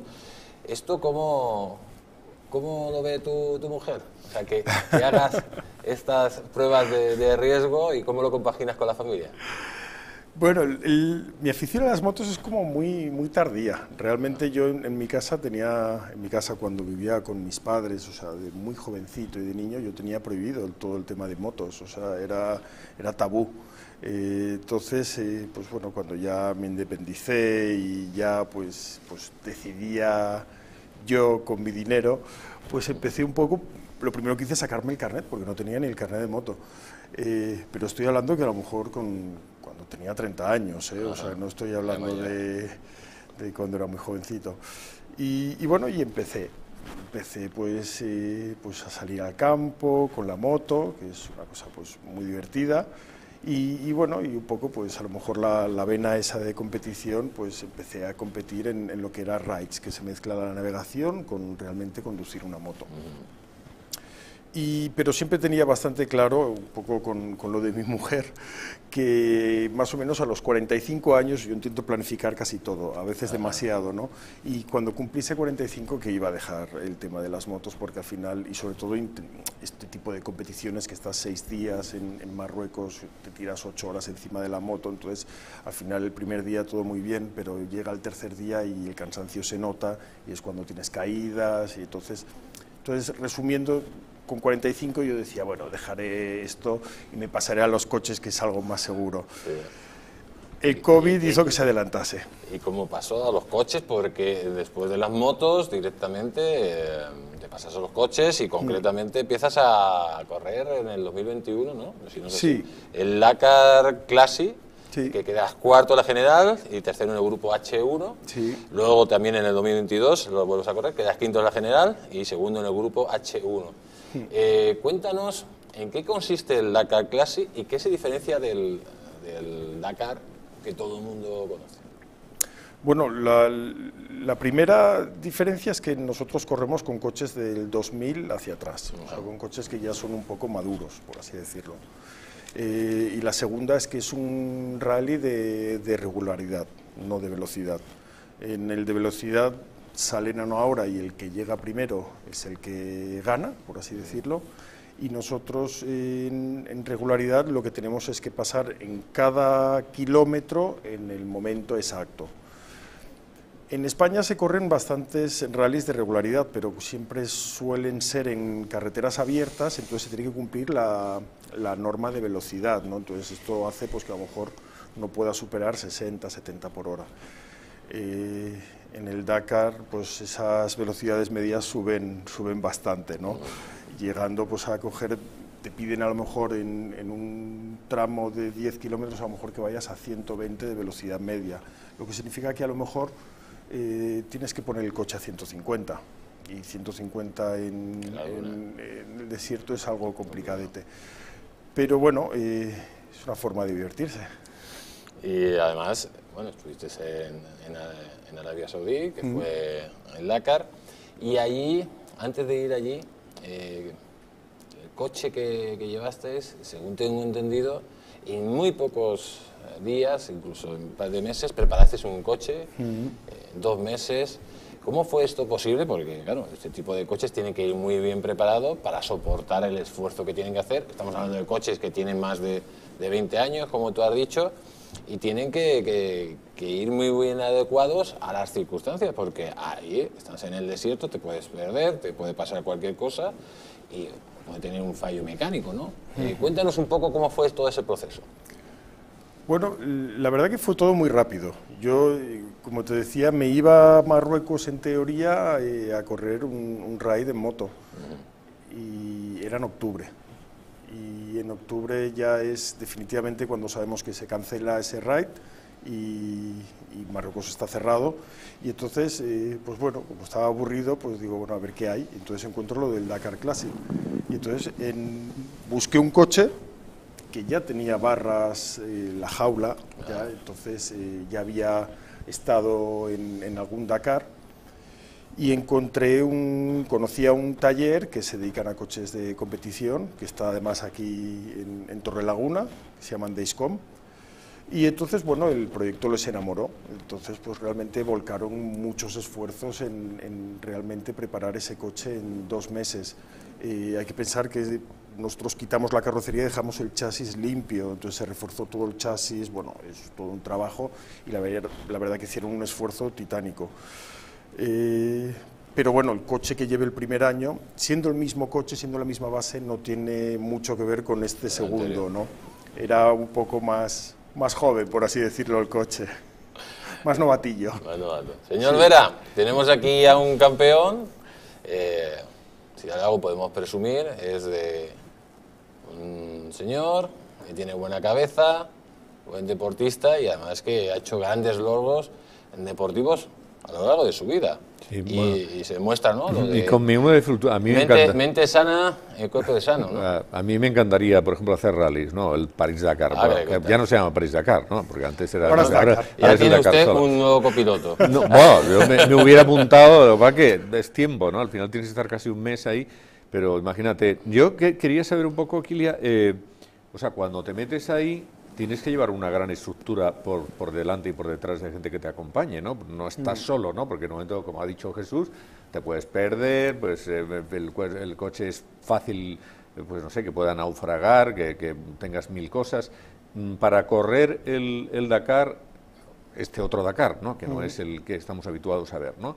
Necesitas mucha estructura que acompañe al- al- a los pilotos, a los pilotos, a los coches de competición. A ver, todo el tema de seguridad y, y lo que es fundamental lo lleva la organización. Hay que pensar que la organización, cuando llega el embarque en Marsella, embarca 14 helicópteros que los envía a Arabia Saudí y entonces constantemente te están controlando. Entonces eso estás, estás a salvo. Eh, yo el primer año iba de novato y iba sin ningún tipo de asistencia. No había sido nunca ni como observador ni nada. O sea, no, no, no, a la aventura. Entonces, Y- la aventura y, y, bueno, lógicamente tendría que llevar unos aparatos que os guiara todo, todo el tramo, Sí, ¿no? sí, no, claro, esto sí, para todo, todo lo que es la instrumentación de navegación tienes que saber, yo sabía navegar en moto, ¿no? Ajá. Entonces ya más o menos no era, no era que de repente un día se me ocurre, Claro. me levanto y voy allá, ¿no? Pero realmente habían ciertos momentos que hasta llevaba la tienda de campaña en el maletero del coche, esto del primer año, ¿no? Eh, como salió tan bien y realmente pues aquello de que tuvo, eh, tuve éxito ¿no? y quedé muy bien de resultado, dije, bueno, pues este segundo año tengo que ir más preparado.